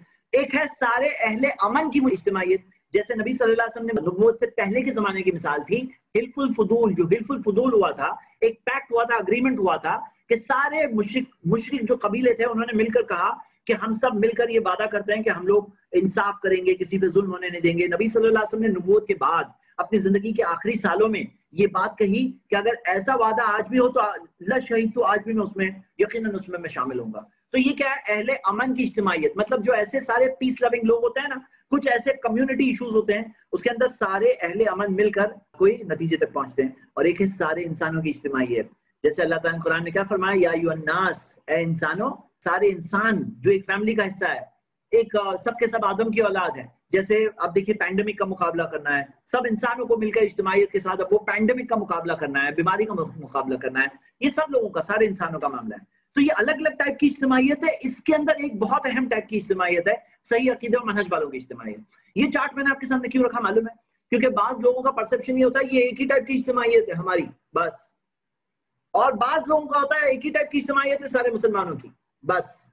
और बाज ऐसे होते हैं ह्यूमनिस्ट जो कहते हैं सारे इंसानों की इज्तमाहीत है, बस। हालाँकि सब इज्तमाहीत है, और सबका अपना अपना मकाम है, सबका अपना अपना स्टेटस है, बहुत ज़रूरी है। चलिए हम आगे देखते हैं कि पांचवा फ़ायदा और ये देखिए हदीस आपके सामने सुनन नसाई की हदीस है। अल्लाह के रसूल मोहम्मद ने फरमाया फ़ैना यद जमा अल्लाह का हाथ जमात के ऊपर है जमात पर है। तो अल्लाह का हाथ है, कैफियत हम नहीं जानते, क्योंकि अल्लाह की सारी सिफतों को हम मानते हैं, लेकिन ये मानते हैं, लई सकमितली शही उसके जैसा कोई नहीं, अल्लाह के जैसा कोई नहीं। तो अल्लाह का हाथ जो जमात पर है, अल्लाह का हाथ, यदुल्लाह, अल्लाह का हाथ जमात पर है मतलब क्या अल्लाह की खास मदद उनके साथ है? मतलब आप अगर ये जमात बनाओगे, ये जमात में मिलकर रहोगे तो आपको अल्लाह की खास मदद महसूस होगी। अकेले मत रहो, मिलकर रहो इज्तमाहीत कायम करो। अल्लाह की मदद महसूस होगी। और इब्न मसूद का कॉल क्या है कि चाहे तुम वाहदा, तुम एक आदमी क्यों ना हो, तुम एक आदमी मतलब ऑफकोर्स जितने सही अकीदे के लोग हैं, सबको मिलकर एक वो इज्तमाहीत कायम करनी चाहिए। यदुल्लाही, अल्लाह का हाथ हाँ उनके ऊपर है अलल जमा। आगे देखिए, अल्लाह के रसूल मोहम्मद ने भी फरमाया, ये छठा पॉइंट देखिए। छठा फ़ायदा किस चीज़ का फ़ायदा? वो लेबल का फ़ायदा। हाँ ताकि इज्तमाहीत कायम हो सके। फ़ैना यद अल्लाह जमा यकीन अल्लाह का हाथ जमात के ऊपर है। वह इन शैताना मामन फारकल जमा यरकुदू। कि शैतान उसके साथ है जो फारकल जमा, जो जमात से अलग होता है, उसके साथ शैतान होता है। यरकुदू उसके साथ वो भी दौड़ता है। मतलब वो इंसान के साथ शैतान भी दौड़ता है। तो ये क्या मामला है? फारकल जमा, जो जमात से अलग होता है, उसके साथ कौन होता है? शैतान होता है। और यही होता है। यही होता है। मतलब आप देखोगे मिसाल अच्छे खासे लोग, लेकिन जस्ट बिकॉज़ वो लोग इज्तमाहीत में लैचिन नहीं हो सके लैचिन उसके साथ जुड़ नहीं सके। अलग अकेले रहे तो भेड़िया उचक ले गया। और उनका नुकसान हो गया स्कॉलर्स के साथ मिलकर रहिए, ये बहुत ज़रूरी है। पॉइंट नंबर सात, सातवां फ़ायदा वो है निकाह के अंदर। अगर कोई लेबल होता है तो निकाह वगैरह में बहुत आसानी होती है। क्योंकि नबी सल्लल्लाहु अलैहि वसल्लम ने क्या फरमाया फज फर बिजात दीन तरीबत दीन वाले से शादी करो हाँ दीनदार से शादी करो, लड़की की बात हो रही है। दीनदार से शादी करो तरीबत यदा तुम्हारा हाथ खाक आलूद हो मतलब तुम कामयाब हो जाओ। हाँ तो यहाँ हम ये देखते हैं सही बुखारी की दीनदार, उसी तरह नबी वसल्लम ने फरमाया कि कोई ऐसा शख्स तुम्हारे पास आए जिसके दीन से, उसके अखलाक से तुम राज़ी हो तो मना मत करो, तुम्हारी बेटी के लिए, निकाह के लिए आए तो मना मत करो। तो दीनदार, अब दीनदार देखने के अंदर कई बार आसानी हो जाती है जब पता चलता है कि अच्छा ये फला लेबल है, ये फला है तो पता चलता है अच्छा ये चीज़ है, नहीं तो किसी को क्या बताना पड़ेगा? कहना पड़ेगा, मैं कुरान सुनत को फॉलो करता हूँ। अब कुरान सुनत का दावा हर कोई करता है।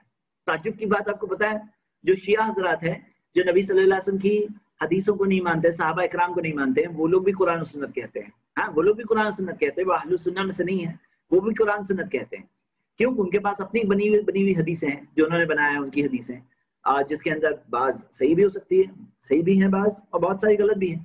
तो हम ये देखते हैं कि हर कोई कहेगा, मैं कुरान सुनत हूँ। कोई ये नहीं कहेगा, मैं गलत हूँ, मुझे फॉलो करो।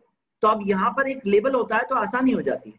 एक और चीज़ जो सही करीबी दोस्त जानने के लिए, क्योंकि अल्लाह के रसूल मोहम्मद ने फरमाया खलील ही एक शख्स अपने दोस्त के दीन पर होता है, तुम से हर किसी को देखना चाहिए, किसी अपना दोस्त बनाते हो?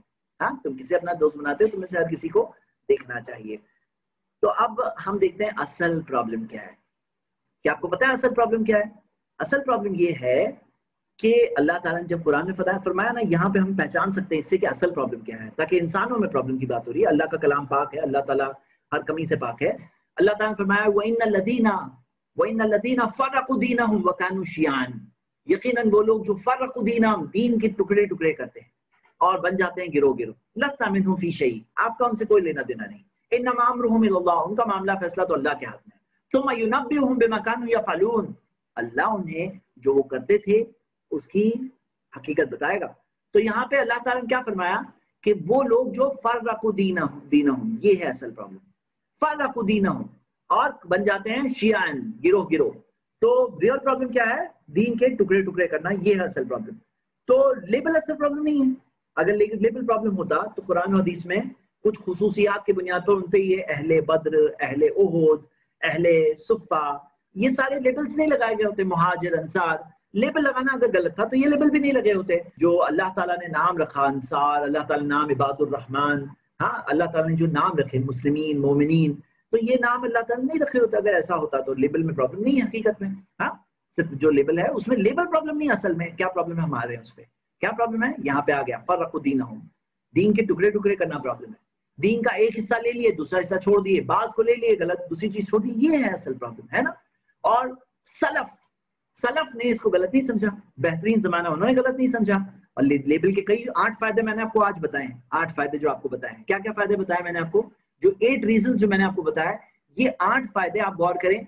ये ऐसी चीज़ है जो हासिल करने में एक इंसान को दुश्वारी होगी, नहीं हासिल कर पाएगा, मुश्किलें सामने आएगी, अगर वो लेबल नहीं होगा। तो ये आसानी के लिए जो फ़ायदा अहले बद्र नाम टाइटल रखने में था आइडेंटिफिकेशन पहचान तो आहलो सुन्ना टाइटल रखने में वो फ़ायदा था और यही फ़ायदे की वजह से साहबा जो हम देखते हैं सलफ में ये बात आई और इसमें कोई शक नहीं। लेकिन कुछ एहतियात। एक चीज़ है कि लेबल लगाने के बाद ऐसा मत समझो कि बाकी सब लोग काफिर। हाँ हम लोग सिर्फ़ मुस्लिम, बाकी सब काफिर। ये गलत है। ये खवारिज का तरीका है आहलू सुन्ना का तरीका नहीं और लेबल लगाए बगैर भी कोई ऐसा कर सकता है कि हमारे अलावा सब सब लोग गलत। मैं ही सही, सब लोग गलत, हमारा ग्रुप सही, सब लोग गलत, ये ऐसे भी हो सकता है। दूसरा, सिर्फ़ लेबल लगाने से जन्नत नहीं जाने वाले। मतलब कोई समझे, मैंने लेबल लगा लिया अपने ऊपर आहलो सुनना, अब मैंने लेबल लगा लिया, मैं जन्नत जाऊँगा। वैसा भी नहीं है। और तीसरा, कि सारे मुखलिस लोग जहाँ कहीं है, वो सब के सब, वो कामयाब फिरके का गिरोह का हिस्सा है। सब के सब। तो ये नहीं सोचना चाहिए एक्सक्लूसिव है ये। सब सिंसियर लोग जो है ना, सबके सब उसका हिस्सा है वो वो कामयाब फिरके का गिरोह का हिस्सा है एहतियात। अब यहाँ पे अहम सवाल कि आज के दौर में आहल सुन्ना कौन है? मैं आपके सामने एक तहकीक शेयर कर रहा हूँ। आप अपने तौर पर तहकीक करिए। हकीकत हकीकत तक पहुँचने की तलब रखें, जानने की कोशिश करें। नबी सल्लल्लाहु अलैहि ने ये वादा तो किया, एक गिरोह रहेगा जाहिरीन अल हक। क्लियरली एक ग्रुप आपको सही मिलेगा। ये वादा है। तो मेरे मेरे भाई और बहने, मैं अपने मुशाहिदे से बता रहा हूँ कि जो जवाब इमाम अहमद बिन हम्बल ने वो जमाने में दिया था कि उनसे जब पूछा गया, ये गिरोह कौन सा है? तो उन्होंने कहा, इमाम नबवी ने इसे सही मुस्लिम की शरह में ज़िक्र किया है। उन्होंने कहा इलम हदीस फलादरी मनहुम उस जमाने में उन्होंने कहा था कि अगर ये अहले हदीस नहीं है, अहलुल हदीस तो मुझे पता नहीं कौन है। ये उन्होंने उस जमाने में कहा था। मैं आज ये बात कह रहा हूँ। क्यों कह रहा हूँ? मेरी वजह है। अगर आप अहले हदीसों के बारे में देखोगे तोहहीद के मामले में बिल्कुल स्ट्रॉन्ग तोहीद क्लियरली बताना, चाहे किसी को तकलीफ़ हो अच्छा लगे, बुरा लगे, तोहीद क्लियरली बताना। शिर की किस्में बताना, शिर से बचना, शिर की मुखालिफत करना, हर तरह की शिर की मुखालिफत करना। तो ये क्या है? ये आपको ये बात मिलेगी यहाँ पर। हाँ दूसरी चीज़, सुन्नत की इतबा हाँ सुन्नत पे अमल करना, उसको इनकरेज करना और हर तरह की बिदत की मुखालफत करना, बिदत पे नहीं चलना, ये बात आपको मिलेगी। आपको ये बात मिलेगी, सही हदीस पे चलो, जयीफ मौजूद हदीस पे मत चलो। हाँ आपको ये बात मिलेगी, सारे के सारे उलमा की इज़्ज़त करो, लेकिन किसी भी आलम की बात, अगर कुरान हदीस के ऊपर चले जाए, कोई कोई कुरान हदीस के खिलाफ चले जाए तो वो आलम की बात छोड़ देना। और सारे अइमा इकराम ने भी यही सिखाया, सारे उलमा इकराम ने भी यही सिखाया चाहे इमाम अबू हनीफा हो, इमाम मालिक हो, इमाम अहमद बिन अम्बल हो, इमाम शाफी रहीमा है, या सारे सारे जो उलमा है, या सारे के सारे बात के दौर में भी जो है किसी ने नहीं सिखाया, मेरी बात मत छोड़ना। सबने सिखाया, अगर मेरी बात कुरान हदीस के खिलाफ चले जाए, छोड़ देना। यही तरीका यहाँ भी ताकीद के तौर साथ सिखाया जाता है, बल्कि माने जाते हैं इसी चीज़ के लिए। उसी तरह सहाबा और सलफ सालहीन ने कैसे समझा? उन्होंने कैसे समझा? वैसे हमें कुरान हदीस को समझना चाहिए। और हमें सबील मोमिनों का रास्ता, जो कुरान की आयत है वो या तभी गैर सबील मोमिनों का रास्ता छोड़कर दूसरा रास्ता अपनाएँगे तो यकीन बर्बाद हो जाएँगे। हमें सहाबा का ईमान कैसा था, सहाबा का अमल कैसा था, वो देखना चाहिए। और हर मुसलमान को इल्म हासिल करना चाहिए। इनकरेज किया जाता है। ये नहीं कहा जाता तुम लोग नहीं सीख सकते। सब लोग इल्म हासिल करो, सिर्फ़ उलमा के लिए नहीं है, सारे उलमा के लिए। हाँ फतवे के लिए उलमा की तरफ़ रिफर करना है। खुद फतवा नहीं देना चाहिए, उसकी वजह से बहुत सारी गुमराहियाँ होंगी। तो मतलब आप ये देखोगे, ये सारे फॉर्मूला लेवल चीज़ें सही मिलेगी। लेकिन आखिर में यहाँ भी इंसान ही मिलेंगे। तो इंसान है तो कोई इंडिविजुअल तौर पे इंफरादी तौर पे किसी इंसान से भूल हो सकती है। लेकिन मनहज जो है ना फॉर्मूला वो यहाँ ये सारी चीज़ों में पास कैसे मिल रहा है? मतलब कोई कोई कोइंसिडेंस है? कोई कोइंसिडेंस है कि ये भी ये भी ये भी ये भी ये भी ये भी, सारी सीरीज़ के साथ, सारे के सारे टॉपिक में पास पास पास पास पास। तो ये क्लियरली दिख रहा है कि जो नबी सल्लल्लाहु अलैहि वसल्लम ने पेशन गोई की कि जाहिरीन हक आपको एक गिरोह तो मिलेगा तो मैं अपने नतीजे में, मैं कोई पैदा नहीं हुआ था यहाँ पर, लेकिन मैं अपनी स्टडी में ये नतीजे पहुँचा कि ये अहले हदीस जो है ना, ये सही मनज पर दिख रहे हैं, जो नबी वसल्लम ने वादा किया, यही वादा मिलता है। तो मैं भी अपनी नस्बत इनकी तरफ़ करता हूँ मैं भी ये कहता हूँ कि अहले हदीस उलमा इनकी तरफ़ हमें रिफर करना चाहिए, ताकि हम सारे वो फ़ायदे इज्तमाहीत के फ़ायदे वो हम हासिल कर सकें और कर सकें। अब यहाँ सवाल एक ये भी आया है कि भाई अहल सुन्ना का नाम था ना, और एक नाम अहले हदीस की क्या ज़रूरत थी? तो मैं आपको एक मिसाल के ज़रिए समझाता हूँ कि समझो गाड़ी की सर्विसिंग एक इंसान ने कराया। आप कराने के बाद कुछ टाइम बाद फिर से गाड़ी खराब हो गई, गाड़ी अच्छी नहीं चल रही है, प्रॉब्लम हो रहे हैं। क्या मतलब निकलता है इससे? इसका मतलब है कि फिर से सर्विस कराओ। उसका फिर से सर्विस कराने का वक्त आ गया है। मतलब क्या? देखिए, आलू सुन्ना का नाम था। क्यों लगाया नाम? क्योंकि जो करप्शन आए ना, गुमराहियाँ आई तो पहचान के लिए आहलू सुन्ना। लेकिन हुआ क्या वक्त के साथ? बहुत सारे शिर को बिदत करने वाले लोगों ने कहा, हम अहले सुन्नत है। हम अहले सुन्नत है। उनकी आवाज़ ज़्यादा बड़ी थी, ज़्यादा सुनी जाने लगी, ज़्यादा पहुँचने लगी। लोग समझे, यही सही बात है। हम अहले सुन्नत है। तो ये जब चीज़ हुई तो एक वक्त के बाद जब ये फ़र्क करने का मामला जो था कि भाई गाड़ी की सर्विसिंग कराए थे वो लोगों ने, मुस्लिम नाम था, सब मुस्लिम ही थे। उसके बाद में क्या हुआ? जब इख्तलाफ आए तो उन्होंने नाम लगाया आहलु सुन्ना। अब जब आहलु सुन्ना में सब आहलु सुन्ना है, लेकिन उसके अंदर जो गुमराहियाँ आ गई, शिरक करने वाले लोग आहलु सुन्नत का नाम ले रहे हैं, बिदत करने वाले लोग अहल सुन्नत का नाम ले रहे हैं। तो एक नाम जब आया तो एक और नाम था जो शुरू के दौर से चल रहा था। अहलुल हदीस ये नया नाम नहीं है। अहलुल हदीस नाम एक बहुत शुरू के दौर से चल रहा था। एक तरह से सिनोनिम सिनोनिम यानी एक ही मानने वाले दो अल्फाज अहलुल सुन्ना अहलुल हदीस सेम मीनिंग थी। तो हम ये देखते हैं कि ये टर्म जो चल रहा था, जैसे आपको मैं मिसाल दे रहा हूँ कि आपको कई हदीसें मिलेगी, कई ऐसे रिवायतें मिलेगी। मैं सिर्फ़ एक बता रहा हूँ इसके अंदर आज कि इमाम तिरमिजी बयान कर रहे हैं। अपने टीचर मोहम्मद इब्न इस्माइल से, मोहम्मद इस्माइल, इब्न इस्माइल कौन? इमाम बुखारी, उनसे बयान कर रहे हैं। और वो बयान करते हैं अली अल मदीनी से। अली अल मदीनी बहुत बड़े स्कॉलर एक सौ इकसठ हिजरी में जिनकी पैदाइश जो ताबईन में से थे, उनकी, उनसे उन्होंने बयान किया। इमाम इमाम बुखारी ने ये ये बयान किया। क्या बयान किया? कि ला तजालु तौइफतु मिन उम्मती ज़ाहिरीन अलल हक। फ़क़ाल अली, हम अहलुल हदीस। ये अहले हदीस हैं। तो अहले हदीस वो जमाने से टर्म चल रहा है। अगर आप खुद देखोगे मोहम्मद इब्न इब्न हम, इब्न इदरीस अल हम्बली राज़ी, उन्होंने कहा, वला यलहकु अहल सुन्ना। अहलु सुन्ना को एक ही नाम से जाना जाता है। इल्ला इस्मुन वाहिदुन एक ही नाम से वो हुआ हदीस हदीस अहलुल हदीस हदीस ये कॉमन नाम था अहलु सुन्ना को कहा जाता था पहले से आपको एक और मिसाल दे रहा हूँ अगर आप सुनन में सर्च करेंगे तो लफ्ज सुन्ना 82 82 जगहों पे अहलुल हदीस सॉरी लफ्ज अहलुल हदीस 82 जगहों पर है यानी पहले से टर्म चल रहा था इमाम कई जगह जगह कहते हैं कि ये अहलुल हदीस के नज़दीक ये है अहलुल हदीस के नज़दीक है ये टर्म चल रहा था लेकिन हुआ क्या कि ये टर्म को अभी निकाल, ला करके कॉमन किया गया। जब अहलुल सुन्ना टर्म लोग इसमें करने लगे तो अहलुल हदीस नाम भी कॉमन किया गया। और अहलुल हदीस का मतलब भी एक बार देख लेते हैं। नाम नाम से मीनिंग ये समझ में आ रही किसी को कि हदीस वाले। अब हदीस वाले यानी हदीस नबी वसल्लम के कौल, फेल, तकरीर। लेकिन अल्लाह ताला कुरान में फरमाया, अल्लाह नज़्ज़ल अहसन हदीस किताबन मुबा मुतशाबिहन।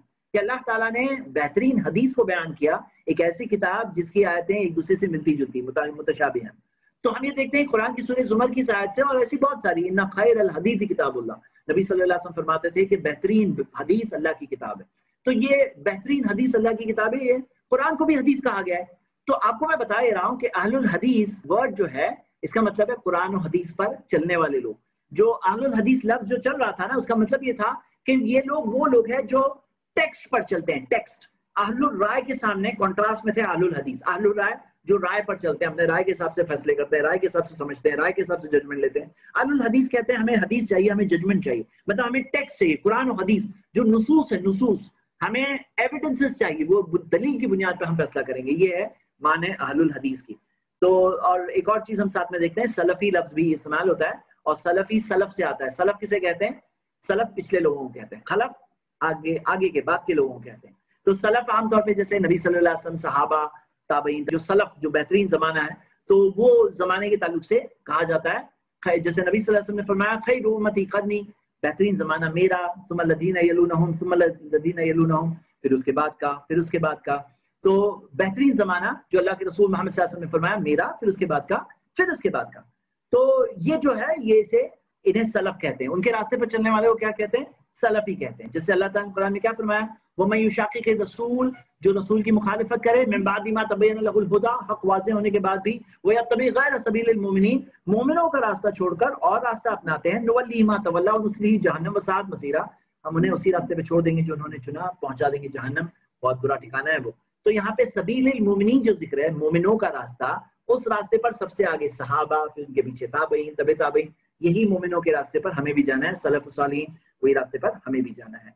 तो आखिरी बात आप सबके सामने। मेरे ब्रदर्स एंड सिस्टर्स ज़िंदगी के इम्तिहान है।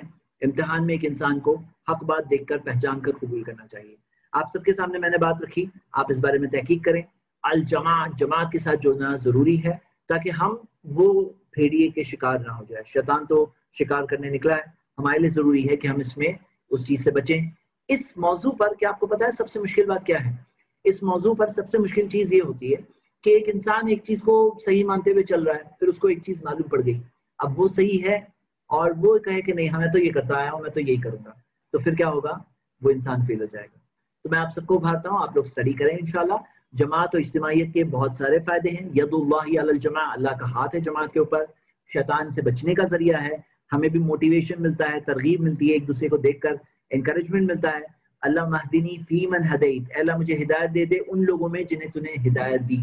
तो जब एक इंसान साथ में देखता है ना कि सब लोग हैं साथ में, मैं भी हूँ, बहुत लोग हैं तो इसमें इंसान को मोटिवेशन मिलता है, सही अकीदे पर उसके पुख्तगी मिलती है। कई बार ऐसा होता है ना, एक इंसान कमज़ोर पड़ जाता है तो भी वो कनेक्शन की वजह से वो रिजुमिनेट होकर वापस आ जाता है। कभी ऐसा भी होता है, एक पीढ़ी कमज़ोर पड़ जाती है, बच्चे जब कनेक्टेड होते हैं, वो पीढ़ी उस ताल्लुक की वजह से वापस आ जाती है, अगली पीढ़ी वापस आ जाती है, उनकी हिफाजत में भी ज़रिया बनता है।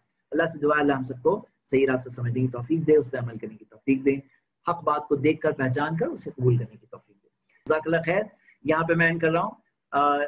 इसी के साथ अल्लाह से दुआ, अल्लाह हम सबके इस जुड़ने को कबूल करिए और अल्लाह ताला हम सब करे अल्लाह ताला हम सबको ये दीनी इल्म हासिल करने का, अल्लाह ताला हम सबको बेहतरीन जज्बा दे और अमल करने का जज्बा दे। आमीन वाखरुद्दावाना अनिल हम्दुलिल्लाहि रब्बिल आलमीन। वस्सलाम वालेकुम रहमतुल्लाह।